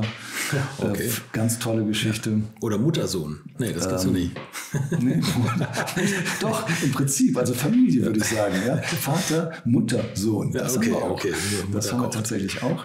Aber man sieht viele, viele ähm, Vater-Sohn-Konstellationen inzwischen. Mhm. Super toll, super prima. Wir machen teilweise auch so einen so Rookie-Pokal dann am Jahresende. Also der, der beste junge Fahrer, Einstiegsfahrer. Ähm, also das ist einfach schön zuzugucken. Und, ähm, und wenn man dann noch sieht, dass dann teilweise die Jungen mit 20, 23 richtig Gas geben mhm. können mhm. und, und richtig schnell werden, das ist toll. Also das, das macht Spaß. Das ist für und die, für es sind sogar teilweise aus unseren Lagern äh, dann auch teilweise Söhne in den Profisport übergegangen. Ja, tatsächlich, ja. aus dem historischen Sport ja, entdeckt worden. Eine HTGT, was sind das für Einstiegsautos? Also Ford Escort ist ja inzwischen auch schon richtig teuer eigentlich. Das ist ja kein Einstieg teuer, mehr. Teuer ist alles. Äh, aber ich sag, wir haben Fiat Abarth, aber der fährt eigentlich mehr Langstrecke. Mhm. Ähm, äh, Lancia Fulvia, BMW 2002. Aber ich sag mal, wir reden hier wirklich immer von Preisen, die, die also günstig ist da nichts.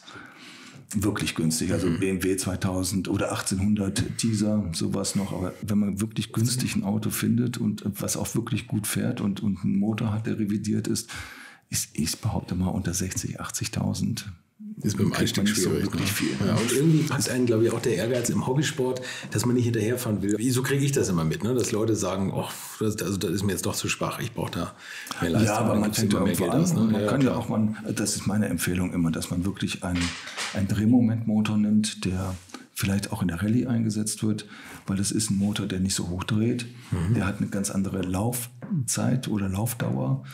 Und da sage ich schon, also fahr erstmal mit 120 PS mhm. und sieh zu, dass du die im Griff hast und dass du die auch wirklich beherrschst. Dann macht alles andere, was danach kommt, viel, viel mehr Spaß. Mhm. Weil dann habe ich eine Basis und, und, und kann die bewegen und das Fahren ist ja erstmal wichtig. Das Fahren lernen ist wichtig. Die ganzen Regeln auf der Rennstrecke zu lernen. Auch das ganze Digitalfahren, das ist einfach nicht zu vergleichen mit dem realen Fahren. Und wir machen Folgendes in der FIA wenn entweder ein Anfänger zu mir kommt oder ich sehe, dass es ein Anfänger ist, dann bekommt er hinten ein, ein gelbes Schild mit dem Kreuz, äh, das allen signalisiert, hier sitzt jemand drin, der noch nicht die große Erfahrung hat. Und dann sind alle Fahrer angehalten, entweder einen großen Bogen um ihn zu, äh, zu fahren oder ihn nicht unbedingt, wenn es nicht nötig ist, auszubremsen, mhm. ihn einfach nicht in, in, in Situationen mhm. bringen, wo er gezwungen ist, äh, falsch zu reagieren. Wir müssen einfach Rücksicht aufeinander nehmen und wir müssen neuen Fahrern die Möglichkeit geben, diesen Sport auszuprobieren und ohne, dass sie dann nachher nach einer Stunde rauskommen und sagen, also ich hier nie wieder. Ne? Mhm. Also das, das möchte ich einfach nicht, mhm. sondern die, die, die fahren können, die sollen einfach sehen, da ist jemand, da weiß ich, der kann auch mal bremsen, wo es vielleicht nicht so mhm. günstig ist. Ja, also Profifahrer, die wir fahren, die fahren, die fahren natürlich bis zur letzten Rille und bremsen auch nur da. Und ein Amateur oder der gerade anfängt, der bremst natürlich 20 Meter vorher. Ja, aber er muss sich ja erstmal langsam rantasten. Und alle müssen sehen, das ist jemand, da muss ich ein bisschen aufpassen. Deswegen bekommt er hinten ein gelbes Schild. Das ist kein Fahranfängerschild, sondern das ist einfach nur ein Hinweis. Ich bin noch nicht so ganz firm auf der Rennstrecke und mhm. bitte nimmt Rücksicht auf mich. Genauso Genauso habe ich ein Schild, da steht einfach nur eine 65, eine rote drauf. Das sind Autos. Man erkennt das nicht immer, welche Baujahre die Autos haben. Es gibt ja Fahrzeuge, die wurden über mehrere Perioden gebaut. Mhm. Und deswegen muss man das nicht immer erkennen. Ein Mustang muss man auch nicht immer unbedingt einschätzen, dass, ob das jetzt ein 65er Mustang ist oder ein 66er, 67er Mustang. Der Unterschied liegt in den Reifen. Wir fahren ja, im historischen okay. Motorsport bis 65 mit Dunlop Racing Reifen. Das hat verschiedene Gründe. Viele haben das noch nicht verstanden, warum man das so macht, aber es liegt an den Schorwerten der Reifen. Das ist leider schon mal öfter passiert, dass jemand auf einem alten Auto Slicks drauf gemacht hat und die Slicks haben dafür gesorgt, dass das Auto im Prinzip in zwei Teile gebrochen ist. ja? Also weil, die, weil das Gridniveau so hoch ist, ja. dass die, das Material das nicht mehr mitmacht. Mhm. Und deswegen gibt es, äh, das ist Nummer vier Standard, gibt es äh, bei den Rennsägen. Und wir haben eine spezielle Rennsäge nur für 65er Autos oder bis 65. Mhm. Das ist die Gentle Drivers Trophy. Mhm. Da werden halt eben nur diese Dunlop Vintage Reifen eingesetzt.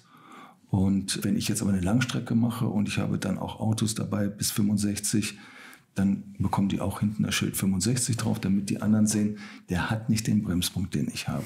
Ja?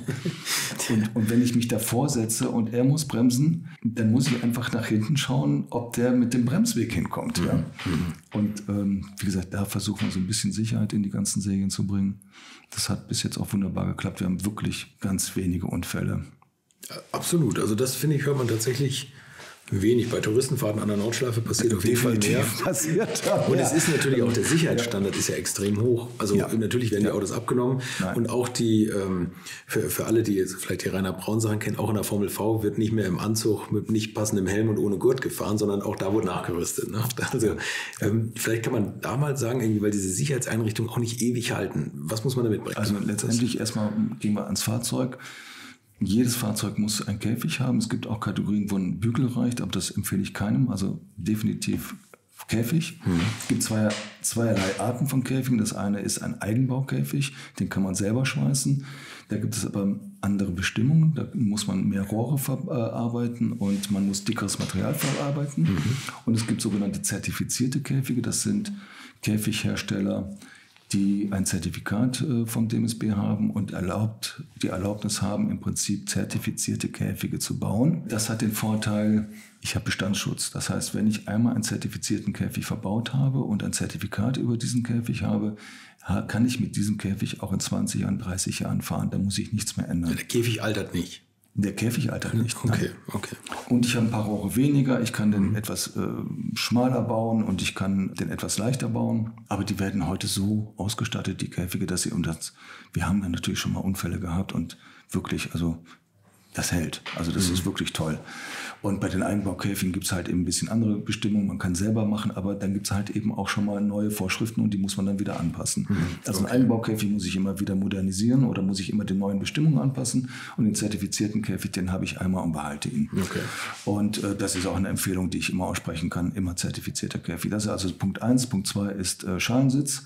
Schalensitze, je nachdem, wie die Rennserie aufgebaut ist, ob national oder international, habe ich entweder eine 5-Jahres-Gültigkeit oder eine 10-Jahre-Gültigkeit. Mhm. Das gleiche gilt für, den, für die Gurte. Sechs-Punkt-Gurt ist Pflicht. Dann Feuerlöscher, dann kommt der Helm. So, und der hat bestimmte Normen und dann hat er eine bestimmte Lebensdauer. Und die, die haben immer Handsystem, oder? Das Nein, also im, ist nicht im historischen Motorsport ist Handsystem nur empfohlen, nicht, nicht hm, okay. vorgeschrieben. Das muss jeder für sich entscheiden. Handsystem ist sicherlich äh, vorteilhaft und also sollte man auch verwenden. Diese ist frontalen, genau, ist bei einem genau. frontalen Unfall einfach unverzichtbar, mhm. weil er einfach das Rückhalt ist ein Rückhaltesystem vom mhm. Kopf. Dann gibt es natürlich auch Schalensitze mit den Ohren seitlich, die kann ich auch nur empfehlen. Mhm. Muss nicht sein, aber ist zu empfehlen. Das ist das Hauptthema was Thema Sicherheit anbelangt, also wenn, wenn du einen aktuellen Formel-1-Fahrer hast, wenn man sieht, was die an Kopf- und Nackentraining machen mit Gewichten, wo sie den Kopf hin und her drücken, Gut, die ich glaube, die könnten einen Seitencrash in einem historischen Auto auch ohne Hans ja, gut stützen. Unser eins, den ganzen Tag am Computer sitzen mit dem ja. Kopf vorm, vorm Laptop hin und her wackeln, ja. sollten vielleicht wirklich jede Sicherheit nutzen. Ja, also das, das ist, wie gesagt, im, im, historischen Motorsport ist das noch jedem selber überlassen, wie weit er geht. Aber ich würde da behaupten, dass die meisten schon selber auf ihre Sicherheit achten. Und wie gesagt, wir haben auch wenig, wenig, also wenig Fälle. Also wir haben auch schon mal einen schweren Unfall gehabt, an den ich mich gut erinnern kann, aber Gott sei Dank ist da auch nicht viel passiert. Äh, Kniescheibe gebrochen, aber ähm, das war es dann auch Gott sei Dank nach zwei Tagen wieder aus dem Krankenhaus. Das war der einzige wirklich schwere Fall, den ich, den ich nicht mehr erinnern kann.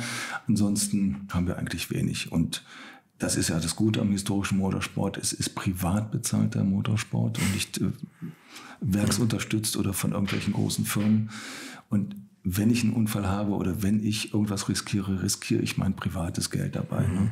Gibt es das eigentlich, dass man sponsern kann? Oder gibt's, habt ihr Fahrer, die Sponsoren da haben? Ja, oder ist ja, das, ja, das, das geht tatsächlich? also du kannst die Autos auch vollkleben mit Ja, ja also das nicht, nein. Also wir achten schon ein bisschen auf Histor ein bisschen, also wir achten auf historische Korrektheit der, der Fahrzeuge. Also ich habe das sehr gerne und es wird nächstes Jahr auch nochmal ein bisschen strengere Regeln dafür geben. Okay. Aber dann lacht ähm, sich der ähm, Braunach mit seinem Variant Krämer immer tot. Ne? Der hat aber das historische Auto und immer noch die Heizungsfirma gemacht. Ach so, ja, ja, ja natürlich, das, das passt Das- natürlich. ja, Weiland, genau, ja, ja, ich hatte ein Jägermeisterauto gerade im Ja, Kopf. der- das- das ja, auch gut natürlich, passen, ne? natürlich. Weiland ist äh, damals schon äh, Serien, also Genau, schon ja. Sponsor des Fahrzeugs gewesen. Und natürlich kann er so fahren und äh, liebend gerne so fahren. Und der hat immer noch die Firma, das meine ich so. Ne? Ja, der, genau, der hat natürlich ja. das große Klos gezogen. Ja, natürlich, das ist richtig. Also klar, und äh, Zigarettenwerbung ist auch äh, im historischen Motorsport erlaubt. ne? Geht das noch? Ich, ich sage jetzt einfach mal ja. Also natürlich, krass, ja, das Beruf, ja äh, oh, ja klar. Und auch Jägermeister dürfte ja heute auch nicht mehr werben. Also die, die alten Ja, Sachen haben Bestandsschutz. natürlich, Ne? die haben Bestandsschutz. Das ist ja ganz interessant. Vielleicht kann man noch mal an die Zigarettenhersteller antreten und, und, und ein kleines E in Klammern hinten dran machen. Richtig. Das, ja, eine, das wäre eine Idee. Kann man sagen, soll ich es abkratzen? Wenn ich es dran lasse, sollen die die Reifen zahlen. Ja, aber wenn man sieht, was, Idee. was damals alles gesponsert wurde und äh, na gut, im, Histor im, im modernen Motorsport wird ja auch heute noch stark gesponsert. Im historischen haben wir Gott sei Dank sehr treue Sponsoren. Also auch wir können unsere Serien eigentlich kaum wirklich finanziell durchziehen ohne Sponsoren. Das geht nicht. Also ich müsste fast die Startgelder verdoppeln, wenn, wenn Okay. wir keine Sponsoren hätten. Was kostet denn jetzt dank der Sponsoren so ein, so ein Rennwochenende eigentlich? Also wenn, wenn man jetzt als Rennwochenende genau im Detail kann ich, kann ich äh, nicht wirklich was sagen. Das ist sehr, sehr unterschiedlich, ob jetzt Nach Auto und- jemand, und allem, ne? ob Ja. jetzt jemand äh, äh, erstmal die Fahrzeugkategorie, dann ob er eigene Mechaniker mit dabei hat oder ob er sich irgendwo ein. Es gibt alle möglichen Varianten. Ich kann ein Auto mieten und, und habe mit nichts was am Hut. Das heißt, ich zahle einen Obolus am, am äh, Wochenende und fahre entweder alleine auf dem Auto, auf einem Mietauto oder äh, mit einem anderen Fahrer zusammen. Historische Autos kann man auch mieten. Ja, dann gibt es Fahrer, die aber auch ihren Platz teilen mit Mhm. anderen Fahrern, die sie aber meistens im Freundeskreis finden, weil das ist schon eine Vertrauenssache. Eben, wenn ne? ich Also zusammen das ist ja fahre. immer Also Motor muss das, überdrehen ist auch schnell A muss möglich. das Leistungspotenzial ungefähr gleich sein. Es nützt nichts, jetzt mit jemandem zu fahren, der 30 Sekunden langsamer ist. Mhm. Und natürlich brauche ich einen äh, zweiten Fahrer, der auf das Material achtet und nicht das Auto schlachtet. Ne? Mhm. Und das ist natürlich wahnsinnig wichtig, dass ich mich da auf jemanden verlasse. Also wie gesagt, es gibt verschiedene Konstellationen. Was die Nenngelder anbelangt, haben wir einmal eine Einschreibegebühr, eine Jahreseinschreibegebühr. Die liegt bei 490 Euro pro Fahrer, wird nächstes Jahr subventioniert durch die FAR, da sind wir dann bei 390 Euro. Und mit dieser Einschreibegebühr habe ich einmal das Recht, an der Meisterschaft teilzunehmen. Das heißt, nur wenn ich eingeschrieben bin, fahre ich auch um Punkte und um Meisterschaftspunkte. Und ich habe ein reduziertes Startgeld. Ähm, das heißt, die Gaststarter zahlen immer zwischen 150 und 200 Euro mehr pro Rennen und fahren dann nur als Start, wie gesagt, nicht meisterschaftsberechtigt und zahlen dann auch einen Obolus mehr. Und die, die eingeschrieben sind, die zahlen dann 150 bis 200 Euro weniger pro Rennen. Und die Nenngebühren, die belaufen sich auf 590 bei der HTGT, je nachdem, wo wir fahren. Äh, möchte ich nächstes Jahr die Preise so bei 590 bis 650 Euro haben. Und in der Langstrecke geht das dann hoch, ja, also je nach Rennstrecke. Ne? Spar zum Beispiel sehr teuer. Ja. Äh, Und dann kommt es auf die Renndauer an, ob ich zwei Stunden fahre oder drei Klar, Stunden ja. fahre oder vielleicht auch mal vier Stunden. Aber in der, in der Regel liegt das irgendwo bei 1100 bis 13, 1400 Euro die Langstrecke. dann- was, wenn man es international betrachtet, super günstig ist. Aber es ist natürlich auch trotz allem teuer. Und damit auch viele Fahrer kommen, äh, haben wir jetzt natürlich versucht, möglichst äh, bei großen Veranstaltungen mit dabei zu sein. Macht einen Riesenspaß. Ähm, hat einen Nachteil, die großen Veranstaltungen gehen über drei Tage. Das heißt, der Fahrer muss auch vier Tage Zeit haben. Ach so, okay. Oder mindestens Okay, drei ja. Mhm. Tage Zeit haben. Das haben wir bei den sogenannten Fahrerveranstaltungen, die also ohne, also mit ganz wenig Publikum stattfinden, haben wir das nicht. Da kann ich auch eine Rennserie mal einen Tag durchziehen, also morgens Training, äh, nachmittags Rennen oder Mhm. an zwei Tagen, dass ich sage, äh, Samstag zwei Training, Sonntag ein Rennen. Das ist eine ist natürlich auch entspannter für den Fahrer. Also wir Mhm. haben beides im Programm sozusagen, aber beliebt sind natürlich die großen Veranstaltungen. Und man muss keine Meisterschaft mitfahren. Man kann jetzt auch sagen, ich möchte nur beim Oldtimer Grand Prix das eine Rennen mitfahren. Genau. Guck mal mit Genau, seinem ist man Wagen dahin und fährt das. Gast, Ne? Ja. Gastfahrer und, und mietet sich ein Auto, holt ein eigenes Auto oder was auch immer. Mhm. Und, äh, oder man möchte einfach nur mal Nordschleife fahren. Ja? Also es gibt es ja auch, dass einige sagen, also mich interessiert nur Nordschleife, alles andere interessiert mich nicht. Und dann kommen sie nur zur Nordschleife. Mhm. Ne? Das geht und dann sind die Gastfahrer sehr gerne. Auch aus dem Ausland haben wir dann viele Fahrer und in der letzten Zeit immer mehr Anfragen aus dem Ausland, Mhm. weil die ausländischen Rennen doch sehr, sehr teuer geworden sind. Und man festgestellt hat, dass man bei uns eigentlich den gleichen Spaßfaktor hat zum kleineren Preis und die Menschen, die bei uns fahren, das Ganze drumherum, also das Fahrerlager, Atmosphäre, alles ist, ist toll. top. Herrlich, ja. das stimmt. Sag mal eine Sache, und da werde ich jetzt, wenn ich das nicht frage, kriege ich 10.000 Mails. Was ist eigentlich mit historischem Motorradsport? Ja, das ist für mich ein tolles Thema. Das liegt einfach daran, dass ich äh, immer Motorrad gefahren bin und Motorräder liebe. Mhm. Und am Berg gab es auch Motorradfahren ja, genau, mit Beiwagen. Oder Beiwagen. Mit also, äh, der, Bombe. Ralf Bohnhorst, den habe ich ja ganz am Anfang interviewt. Der ja, ist ja großer ja. Motorrad-Beiwagenfahrer. Also ich, ich, ich, ich finde das toll. Mir macht das Spaß. Ich finde Motorsport ist Motorsport und egal mit wie viel Rädern. Es gibt Menschen, die da anderer Meinung sind. Ich hatte mal äh, eine Zeitschrift im historischen Motorsportbereich und da wurde ich also relativ schnell angerufen und wehe, du bringst mein Motorrad, dann kaufe ich die Zeitschrift nicht mehr. Ich weiß nicht, woran es liegt. Ich habe keine Ahnung, ich komme nicht dahinter. Mhm. Wir hatten ja früher auch historische Rennveranstaltungen, wo Motorräder gefahren ich sind. Ich weiß noch, ganz am Anfang Ultimate Grand Prix in den 90ern sind historische Motorräder gefahren. Also das einzige Erklärung, die ich jetzt so habe, und das ist eine platte Erklärung, das ist Geld. Äh, mhm. Im Motorradrennsport gibt man nicht so viel Geld aus. Das heißt, ich kann da kein Startgeld von 600, 700, 800 Euro mhm. nehmen oder 1000 Euro oder was auch immer. Das heißt, wenn ich an einer Rennserie, die Motorradsport betreibt, eine Streckenzeitdauer verkaufe, dann bekomme ich da nicht so viel Geld, als wenn ich Motor, also mhm. Automobilsport mache. Und die Rennstrecken werden einfach jedes Jahr drei bis fünf Prozent teurer. Mhm. Und wir sind da inzwischen in Minutenpreisen da wird einem schwindelig bei. Also nur mal so, da kann ich Beispiele nennen. Also ich liege netto bei 160 bis äh, 250 Euro die Minute. Pro Minute? Ja, ja netto. Ja. Und, und dann kommen ja noch Pokale dazu, da kommt der Streckensprecher dazu, da kommt der TK dazu, da kommt der äh, Race-Direktor, also wir haben einen eigenen Race-Direktor dazu. Das kommt noch alles on top. Mhm. Und ich muss, mit, muss das kalkulieren und ich muss mindestens mit 30 Autos äh, kommen, damit sich das in irgendeiner Form rechnet. Und wie gesagt, Motorrad, das ist wie mit Slalom oder Bergrennen. Ich kann bei Bergrennen auch keine 800 Euro nehmen. Mhm. Ja, ich weiß nicht, wie im Augenblick die Preise sind. Wir haben damals 40 D-Mark bezahlt. Das wird heute wahrscheinlich bei 200 Euro liegen. Ja, Aber das ist trotz allem noch, natürlich, ich muss keine Strecke mieten. Ich kann bei der Stadt diese Bergstrecke, die dann berghoch führt, die hole ich mir bei der Stadt. Klar, ich muss einen, einen, einen, einen roten Kreuz haben, ich muss äh, Peripherie haben, aber ich habe keine Streckengebühr. Und das ist natürlich dann eine ganz andere finanzielle Nummer. Rundstrecke ist einfach teuer und es wird teuer bleiben und wird auch teurer werden.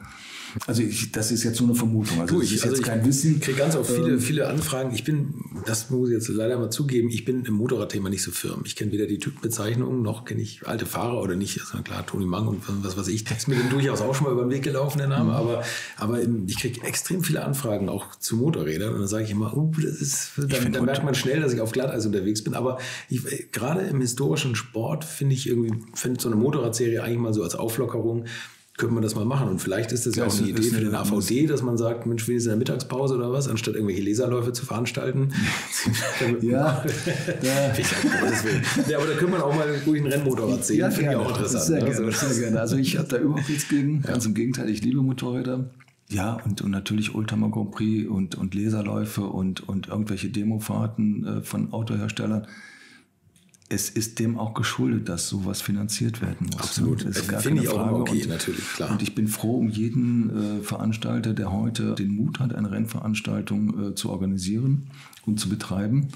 Äh, das Risiko ist einfach wirklich groß. Also hm. Ähm, wenn man kalkuliert auf eine bestimmte Basis und wenn dann auch nur irgendwo was fehlt, äh, ein Rädchen ausfällt oder jetzt äh, mit, mit Corona, wo wir in ganz schwierige Zeiten geschlittert sind, wo dann Sponsoren von heute auf morgen wegfallen, wo Fahrer wegfallen, weil manche Fahrer auch Angst bekommen haben. Äh, klar, kann man auch alles verstehen. Oder auch Fahrer, die gesagt haben, also entweder habe ich Fahrerlager und ich kann meine Kumpels umarmen oder ich habe es nicht, dann habe ich einfach keine Fahrerlager-Romantik, die ich ja. mir so vorstelle natürlich auf Siegerehrung. Alles hat sich ja da äh, in der Zeit gewandelt. Ne? Ja, schon ein tristes Jahr. Also wir ne? haben ja wirklich Siegerehrung gemacht, so äh, da, da stehen die Pokale, nimm dir einen weg. Ne? Ähm, ist nicht das, was wir wollen. Nee, aber ihr plant für 2021 grob, also schon mal die normalen Rennserien, aber es gibt ja, Also ich, ich sag oder ich habe ähm, gesagt, wir müssen ganz normal planen. Wir planen alle Rennen, so wie wir es auch sonst tun fangen wir im April an mit, mit Preis der Stadt Stuttgart, äh, Bosch Hockenheim, Nürburgring Classic, 24 Stunden Classic, OGB. Das ist alles äh, geplant, äh, teilweise auch schon bestätigt. Mhm. Jetzt haben natürlich auch die, die Veranstalter ja, Planungsunsicherheit, weil sie wissen nicht, äh, was ist mit den Sponsoren, kommen sie, kommen sie nicht. Wie bauen wir die Veranstaltung auf? Haben wir Zuschauer? Die Zuschauergelder sind ja auch elementar. Ja, wir haben ja drei Säulen. Wir haben die Nenngelder, wir haben die Zuschauer und äh, wir haben die Sponsoren. Und, und auf diesen drei Säulen baut die Finanzierung auf. Und wenn eine Säule wegfällt, habe ich Probleme. Ne? ne? Ja. Und äh, natürlich, also ich hoffe, dass auch nächstes Jahr die Industrie wieder so weit ist und bereit ist, den Motorsport äh, zu, zu unterstützen. Glaubst du eigentlich, dass, dass wir in 30 Jahren, dass du in 30 Jahren irgendwas organisierst für die aktuellen Autos? Historisch Motorsport? Ich sag mal, das ist äh, wie mit Mode. Ne? Irgendwann kommt ja irgendwas wieder. Irgendwann Man hatte wieder, Schlaghosen ja. früher ja. und äh, 30 Jahre später kommt die Schlaghose wieder. Ich glaube, dass alles ein Ende hat. Also nicht der historische Motorsport, der hat hoffentlich kein Ende. Wir haben aber, wenn wir jetzt wirklich von historischem Motorsport äh, sprechen, haben wir Vergaser, vielleicht noch einfache mechanische Einspritzanlagen. Wir haben eine Technik, die beherrschbar ist und die, glaube ich, auch in 30 Jahren noch beherrschbar ist. Auch manche Menschen sterben leider weg, die diese Technik beherrschen, aber es ist nichts, was man nicht weiter geben kann. Also ich, ich glaube, dass diese ganze mechanische Motoren doch auch ihre Daseinsberechtigung auch in 30 Jahren haben und dass wir auch in 30 Jahren Werkstätten finden, die das reparieren können. Mhm. Also ich bin jetzt gerade so am Schwanken. Also ich, wenn wir jetzt so in die 80er, 90er Jahre gehen, wo wir schon, wo wir schon voll elektronische Anlagen haben, wo wir schon sehr viel Computertechnik in den Autos haben. Also ich habe so Beispiele, aus dem moderneren Sport, wo man, wo man heute schon alte Notebooks sammeln muss, ja. damit man noch diese Schnittstelle ich hat. Äh, ich um, bei BMW Classic stehen. Ja, ja, ja. ja. Auch bei eBay alte Computer ja. gekauft, damit sie, sie ihr Windows da drauf spielen konnten. Ja, und, und, und da braucht man diese alten Notebooks und die alten Programme. Und ich habe Olaf Mantei bei uns am Track Day gesehen, an einem Porsche, der hatte das auch noch. Der hat das noch und der konnte mit dieser Software auch umgehen und der konnte das dann auch direkt live äh, entsprechend um, umändern. Und das, das hat der persönlich gemacht. Ganz toll. Also das äh, kriegt man auch nur im, im klassischen Motorsport mit. Aber die Technik geht weiter und wir können heute diese, ich sag mal, schwer zu handelnde Digitronik oder mhm. Elektronik oder was es da alles gibt, die kann man heute austauschen. Ne? Es gibt heute frei programmierbare Anlagen, äh, da kann ich meine Sensoren anschließen und, und kann im Prinzip auf der grünen Wiese das komplett neu äh, entwickeln und machen. Und daher denke ich, dass auch der jetzt moderne Motorsport im 30 Jahren natürlich klassisch ist, auch noch betrieben werden kann. Weil ich mir schon vorstellen kann, dass wir, äh, dass wir das, was wir heute an, an frei programmierbaren Anlagen haben, wird in 30 Jahren ja auch weiterentwickelt werden. Ja, klar. Und, und ich glaube, dass wir da mit, mit Plug and Play sogar äh, was haben, wo wir auch heute moderne Autos später noch handeln können. Aber so wie es im Oldtimer-Bereich ist, im normalen Oldtimer-Bereich ist, Autos, die wir vor 30, 40 Jahren hatten, sind heute Einzelstücke. Also weil sie damals auch in geringen Stückzahlen gebaut wurden. Wenn ich ein Golf 1 nehme, dann war das ja schon erste Massenproduktion. Mhm. Aber heute relativ selten, weil mhm. er auch relativ schnell verschrottet wurde. Habe ich aber heute einen Golf 6 oder einen Golf 7, dann ist das in dermaßen großen Massenstückzahlen hergestellt worden. Das ist in 30 Jahren auch nichts Besonderes. Aber ein Golf 1 in 30 Jahren, das ist was Besonderes. Ein Porsche ne? ST, ein F-Modell, ein G-Modell ist in 30 Jahren immer noch sein Geld wert. Und je weiter ich in die Zukunft gehe oder in die, in die heutige Zeit gehe, umso mehr Massenprodukte habe ich und umso weniger wird es später wert sein. Und, und, man muss ja auch mal die Variantenvielfalt heute sehen. Die Autoindustrie muss ja heute, glaube ich, nur 10 oder 15 Jahre überhaupt Ersatzteile zur Verfügung stellen. Und, und wenn ich sehe, dass egal welche große Hersteller jährlich zig verschiedene Modelle, man kommt ja gar nicht mehr mit. Ja und das kann ich ja gar nicht äh, vorrätig halten. Ich kann die, die Kotflügel, also natürlich wird es auch später wieder eine Szene geben, aber wir müssen mal gucken, wie sich die ganze Verkehrspolitik und E-Mobilität und alles äh, sich weiterentwickelt. Und es wird aber immer einen Motorsport geben, davon bin ich überzeugt, egal in welcher Richtung.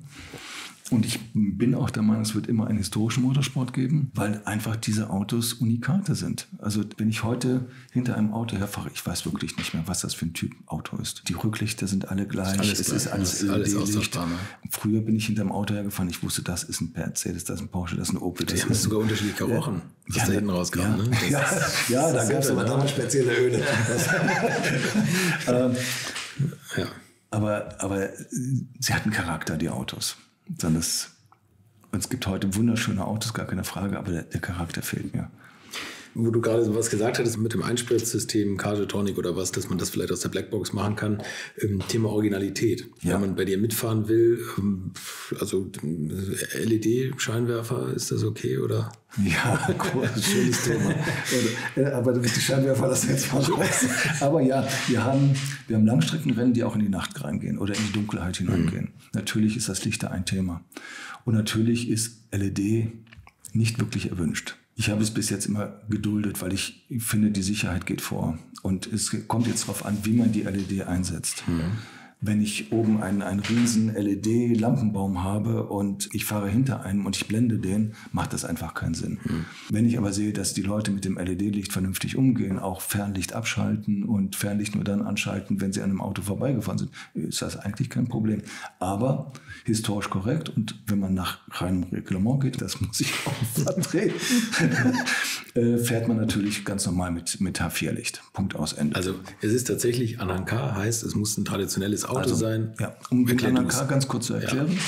Ist alles erlaubt, wie es damals in der Periode des Fahrzeuges erlaubt war. Das heißt, wenn ich ein 71er Auto habe und das heute betreiben möchte, dann muss ich mir angucken, wie ist dieses Auto 1971 auf der Rennstrecke gefahren. Das ist ganz einfach. Also so wie das Auto damals gefahren ist, darf es heute fahren. Mhm. Und keine Interpretation rechts und links daneben. Das wird nämlich sehr gerne gemacht, weil wir einfach heute mehr Möglichkeiten haben. Aber letztendlich, Ananka sagt, das Auto ist so damals gefahren und fährt auch heute so. Was wird Natürlich heute so gemacht? Gibt es jetzt Leute, die sagen, ja, aber die, die Zündkerze von damals, die habe ich heute auch nicht mehr. Das Öl von damals habe ich heute auch nicht mehr. Die Reifen von damals habe ich heute auch nicht mehr. Den Keilriemen habe ich auch nicht mehr. Ja. Natürlich. Und das Blech von den Kotflügeln, da musste ich jetzt Kohlefaser nehmen. Sorry, aber das geht. Also, äh, Dann kommt nämlich ein Tier mit seinem Magneten, mit seinem Magnetmagnet und guckt erstmal tatsächlich Baujahren, wo die Kunststoffkotflügel erlaubt sind. Mhm. Also zum Beispiel bis 71, 72 waren sie auf einmal nicht mehr homologiert.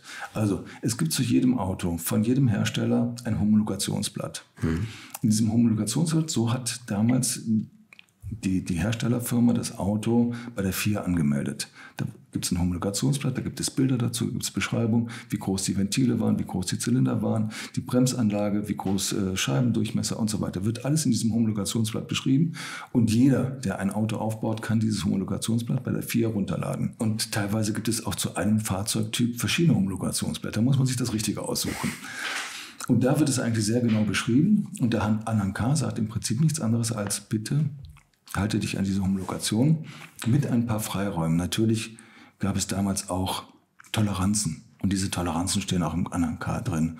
ANANK, wie gesagt, ist vom, vom DMSB oder von der FIA ein Reglement, was international aufgesetzt ist. Und dazu gibt es ein Büchlein vom DMSB, das kann man sich holen, ist alles auf Deutsch. Und da steht der gesamte ANAK beschrieben drin. Welche Reifen, welche Reifengrößen, welche Felgengrößen und so weiter. Mhm. Welche Gewichte.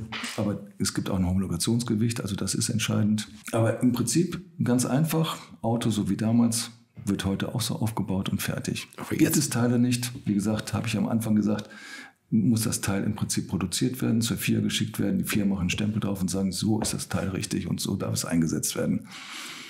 Das Problem ist, ich kann schlecht in den Motor gucken. Ich kann schlecht Teile im Motor prüfen, ob jetzt Titanteile verwendet worden sind oder Magnesium oder was auch immer. Das führt natürlich manchmal zu ja, Irritationen einzelner Fahrer, weil vielleicht der eine oder andere mal schneller ist. Es liegt auch oft am Fahrer oder ja, es liegt auch am Fahrer. Natürlich gibt es schnelle Fahrer und weniger. Ist auch vollkommen korrekt und vollkommen okay. Das muss es ja auch geben, sonst gäbe es keinen ersten, keinen zweiten, keinen dritten und keinen letzten. Aber das Material sollte natürlich bei allen einigermaßen gleich sein. Hast du da mal wilde Auswüchse erlebt? Ja, ja, so richtig erlebt nicht, aber ich weiß, wie wir die deutsche Meisterschaft eingeführt haben und Gott sei Dank, muss ich sagen, haben wir sie eingeführt, weil da hat der DNSB natürlich auch ein bisschen mitgeguckt und wir haben dann auch angefangen, unsere TKs anzuweisen, Untersuchungen vorzunehmen. Nicht wirklich im, im, im, richtig großen Detail, aber wenigstens die, die rudimentären Sachen, dass wir die immer untersuchen. Das machen wir jährlich. Die Autos bekommen einen Aufkleber, wenn sie abgenommen sind. Untersuchen können wir heute das Gewicht. Das ist gar keine. Wir können Benzinproben nehmen, haben wir auch schon gemacht. Wir können die Höhe nehmen. Wir können die Fahrwerke untersuchen. Also ich habe auch schon mal ein hochmodernes äh, Fahrwerk ausbauen lassen derjenige hatte das alte sogar dabei. Also er wusste, was er macht. Aber, aber sowas gehört auch dazu und es gehört zu unserer Aufgabe, das im Vorfeld zu ermitteln und, und zu erkunden, bevor es zu einem Protest kommt. Also ich möchte immer im, im Prinzip im Internen meine Proteste führen. Das heißt, wenn ich etwas sehe, gehe ich zu meinem TK, sage, guck mal bitte nach. Ich glaube, da stimmt was nicht. Dann macht er das intern. Und wenn der Fehler tatsächlich so ist und das nicht homologiert war, ja, dann reden wir miteinander. Und dann fährt er entweder als Gast und wird nicht gewertet oder er muss das Teil austauschen oder beim nächsten. Kommt immer darauf an, wie schwer der Fehler ist mhm. oder wie leistungssteigernd der Fehler ist. Und, und da muss man ein bisschen äh, äh, Feingefühl haben. Die Leute fahren ja wirklich just for fun. Und es gibt auch schon mal Fehlinterpretationen des Regelwerks. Gar keine Frage, habe ich selber auch schon gehabt. Wo ich dachte, das könnte ich so und so machen und äh, entpuppte sich später als, nee, das darfst du nicht. Ja? Ja. Deswegen messen wir das Gewicht und deswegen messen wir die Höhe, weil das sind so zwei Performancegeber, die wir schon mal wirklich ausmerzen können. Und das kann auch jeder korrigieren. Und dann gucken wir natürlich weiter. Beliebter Geschichte ist elektronische Zündanlage.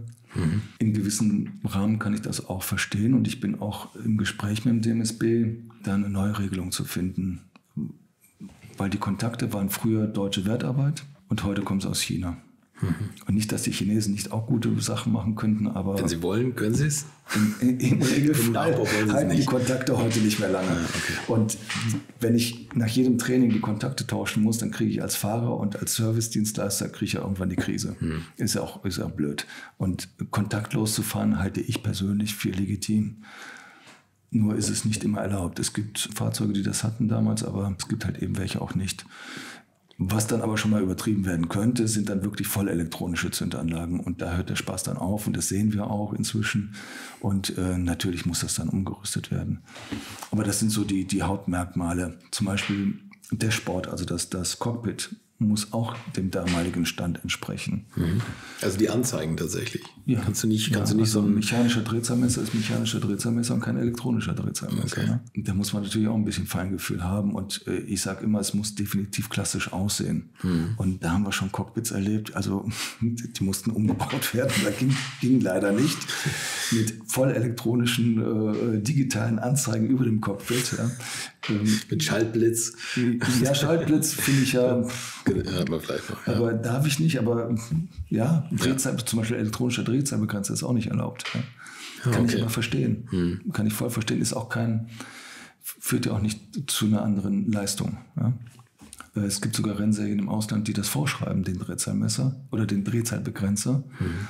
damit der Leistungswuchs nicht weitergeht. Ja, beim Thema also, Titanteilen im Motor und auf einmal kannst du 2000 mehr drehen. Also, ne? also im Prinzip geht man hin und sagt so, das Auto konnte damals nur 8000 drehen, darf ja. auch heute nur 8000 ja, okay, drehen. Das ist ja schlau, dann ne? gibt es elektronische Drehzahlbegrenzer, ist laut Reglement nicht erlaubt. Mhm. Im Ausland wird es geduldet oder wird es erlaubt und wird gemacht.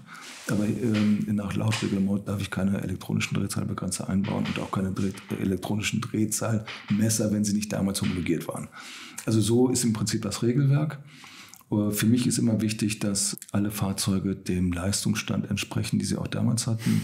Das heißt, dass nicht aus einem 2-Liter-Motor ein 3-Liter-Motor wird oder aus. Erzähl bitte von einem einen Protestfall. Protest? Nein, das kann ich, ich nicht erzählen. Nein, das kann ich nicht erzählen, weil dann weiß sofort jeder, worum es geht. Mhm. Ja, also wenn einer protestiert, der selber weiß, dass er gefuddelt hat und äh, den anderen rausprotestiert, weil er sich sagt, der kann mich nicht überholen. ähm, ja, das sind natürlich auch spezielle Spaßsachen, die, die, die schon mal passieren. Aber wie gesagt, wir versuchen ja die internen, die, die, Proz die Prozesse erst gar nicht aufkommen zu lassen, sondern sie vorher intern zu lösen. Und wenn ich merke, an den runden Zeiten, dass ein Auto über die Jahre auf einmal viel zu schnell geworden ist, dann muss man einfach mal reden. Ne? Und dann muss man miteinander reden und dann geht das auch. Ja, erstmal ja, einfach einen Finger brechen und dann gucken, ob es zugibt. ja, das, das machen wir nicht mehr. Also, aber, aber letztendlich, äh, ja, reden, ja. Punkt. Was ist das, das wildeste Auto, was letztes Jahr in deinen Serien so gefahren ist, wo du mit drehender Ergriffenheit der Vorstands, ist man 250 GTO mitgefahren? Ja, aber ist äh, viele Zeit her, ist tatsächlich mal mitgefahren.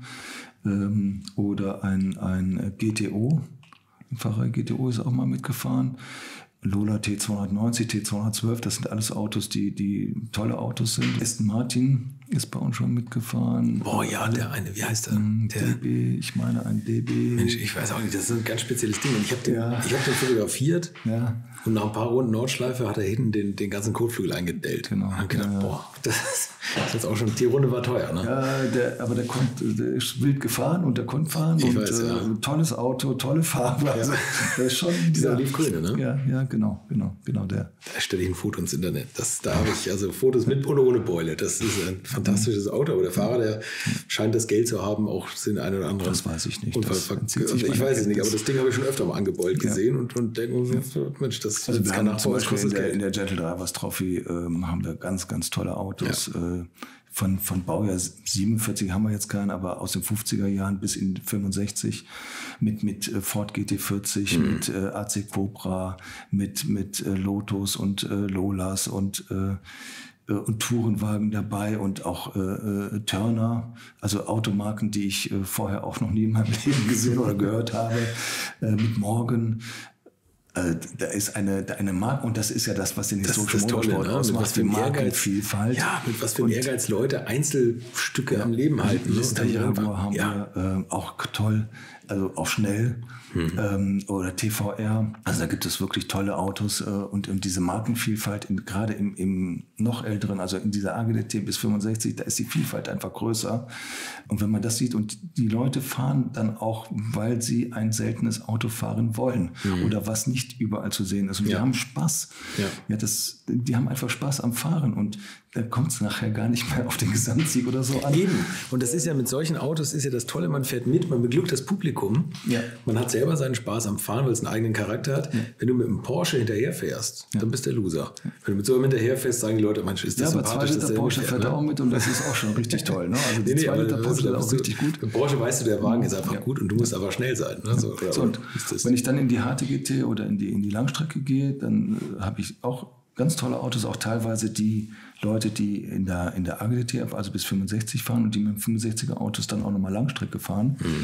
Und, und das äh, fällt auch richtig schön aufmischen. Habe ich natürlich in den Baujahren 65 bis 71, habe ich nicht mehr diese Markenvielfalt. Ich habe Markenvielfalt und das ist äh, richtig schöne, aber nicht mehr so viel weil man sich da schon auf die Hersteller äh, BMW, Porsche, ähm, Ford im Prinzip konzentriert. Ja, da gibt ein paar wieder mal ein Ami oder sowas. ne? ja, natürlich, die Amis äh, werden immer stärker. Ja, und, äh, ist mir auch aufgefallen. Wir haben Tolle Autos. irgendwann ne? mal diese Trends-Geschichte eingeführt. Das sind V8-Motoren, modifizierte Autos, die dann auch mit äh, großvolumigen äh, Autos fahren, die auch am Fahrwerk schon ein bisschen was modifizieren können und auch das Gewicht ein bisschen runterkriegen können. Und äh, ja, das fing an mit, mit gelber Mustang, der bei uns mitfuhr, also richtig auch im Gesamtsieg mitfuhr. Und dann hat sich die Szene da so schon aufgelockert und man kann da noch, ich sag mal, für günstiges Geld äh, kann man da wirklich tolle Autos erwerben, die äh, schnell sind und richtig Laune machen. Ich habe selber so ein Auto und äh, muss sagen, ich bin vorher Porsche gefahren. Das war schon eine Sensation und hat Spaß gemacht, aber mit so einem ich habe einen Plymouth Barracuda. Ist ein ganz anderes Fahren. Das ist ein ganz Auto, anderes ne? Fahren. Ja, das ist echt lustig. Und ich muss sagen, ich bin jetzt nicht der Vollprofi, ich bin jetzt nicht wirklich der, der gute Aber Fahrer. du hast Spaß, oder? Aber, Das aber ich fahre dann schon mal Trackdays mit oder fahre schon mal ein Training mit.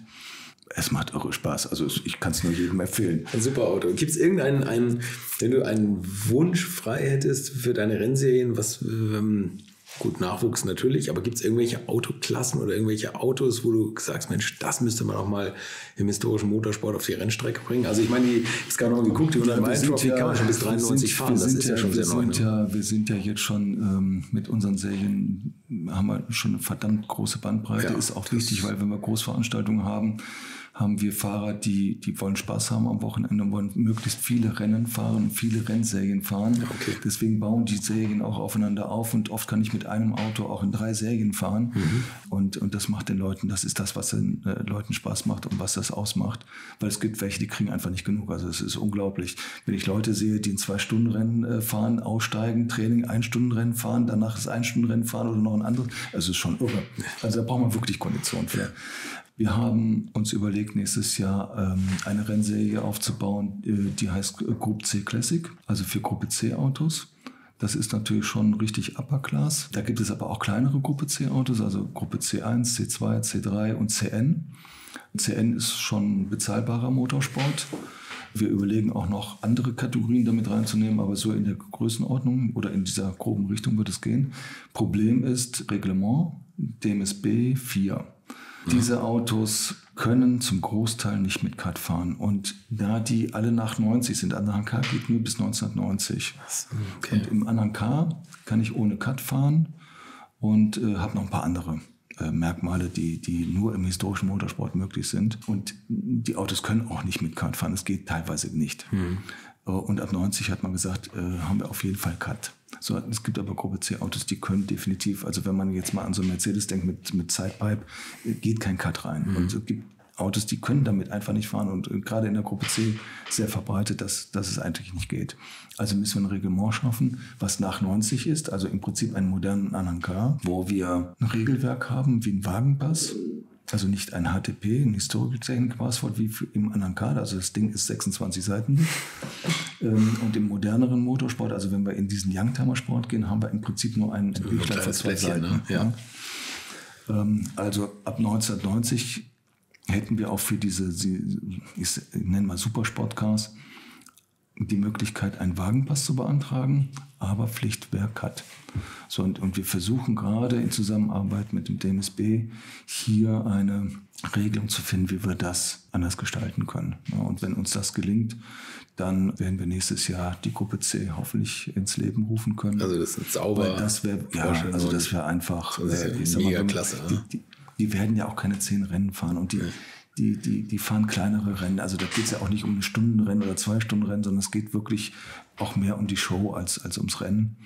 Und im Ausland so jetzt vorgemacht, da wird Rennen gefahren mit diesen Autos, weil die einfach auch andere Bestimmungen haben als wir.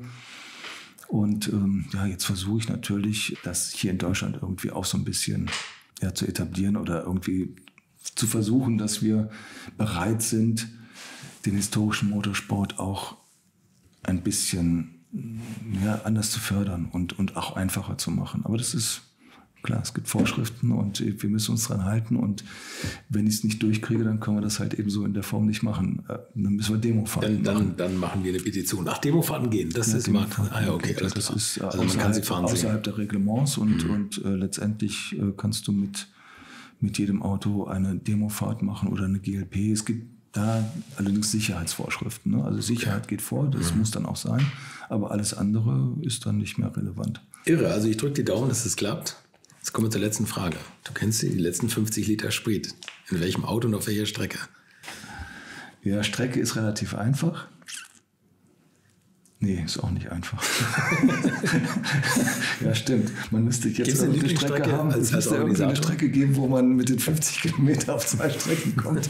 ähm, ja, nein, Nürburgring liebe ich und ich liebe Spa. Ja. Aber was mir ähm, äh, unglaublich imponiert hat, ist Sachsenring. Ähm, eine super Strecke, Motorradstrecke, Assen, auch toll. Zandvoort, äh, jetzt mit den zwei Steilkurven, Bombe. Also, ich- also sich dazu entscheiden, ich glaube, ich glaube, ich würde Spar nehmen. Also wenn ich entscheiden müsste, würde ich Spar nehmen, weil die vereint alles. äh, Lange Strecke, bergauf, bergab. Also ich liebe diese Naturstrecken. Ähm, sonst würde ich Nordschleife nehmen, aber mit dem 50 Liter komme ich auch nicht so weit. ja, und welches Auto? Ja, das ist jetzt. Das ist jetzt, hätte ich mir vorher Gedanken machen sollen. So. Ich äh, muss sagen, Din, din, din. mein Plymouth Barracuda. Was verbraucht er? Ja, es geht. Also ähm, im Prinzip, ja, die, alle Rennfahrzeuge verbrauchen schon, aber 60 Liter, ja. 60 Liter. Oh gut, aber die werden auch nur unter Volllast gefahren. Und ehrlich gesagt, ein moderner SUV. Nee, auf Stunde, nicht auf 100, sondern auf Stunde. Ach so. wir, wir rechnen ja immer in Stunden. Rechnen wir Also, mal einen modernen SUV, der die ganze Zeit mit durchgedrehtenem Gas natürlich. fährt. Klar. Nein, Das gar keine Frage. Ist auch Also, nicht ja, ganz natürlich. sauber alles. Ja. Michael Thier, jetzt erzähl doch mal, wenn, wenn, wenn man neugierig geworden ist, deine Webadresse ist. Achso, äh, FAR findet man unter www.far-race.de. Äh, dort sind alle Rennserien äh, vertreten, bis auf die Tourenwagen Classics. Die hat eine eigene Internetseite, die jetzt im Neuaufbau ist, nennt sich tourenwagen-classics.com. So, So, toll. dann haben wir Nächstes Jahr freuen wir uns auf, auf viel historischen Motorsport. Vielen Dank, dass, dass du hier warst und das Ja, Interview zu geführt hast. Und ich hoffe, dass wir den historischen Motorsport noch lange so erleben werden und auch nächstes Jahr mal wieder uns in die Arme nehmen können. Und das hoffentlich, schön. das hoffe ich auch. Und vielleicht nutzt der ein oder andere jetzt seinen, seinen historischen Wagen doch nochmal mit dem Überrollkäfig auszustatten und vielleicht fährt er bei dir mit. Ja, sehr gerne. Würde mich freuen. Immer hier. Vielen Dank. Gerne. Na Leute, ist es euch wie mir gegangen? Wie oft habt ihr während dieses Interviews an den Satz gedacht, man lebt doch nur einmal und eigentlich wollte ich auch immer noch mal einfach machen.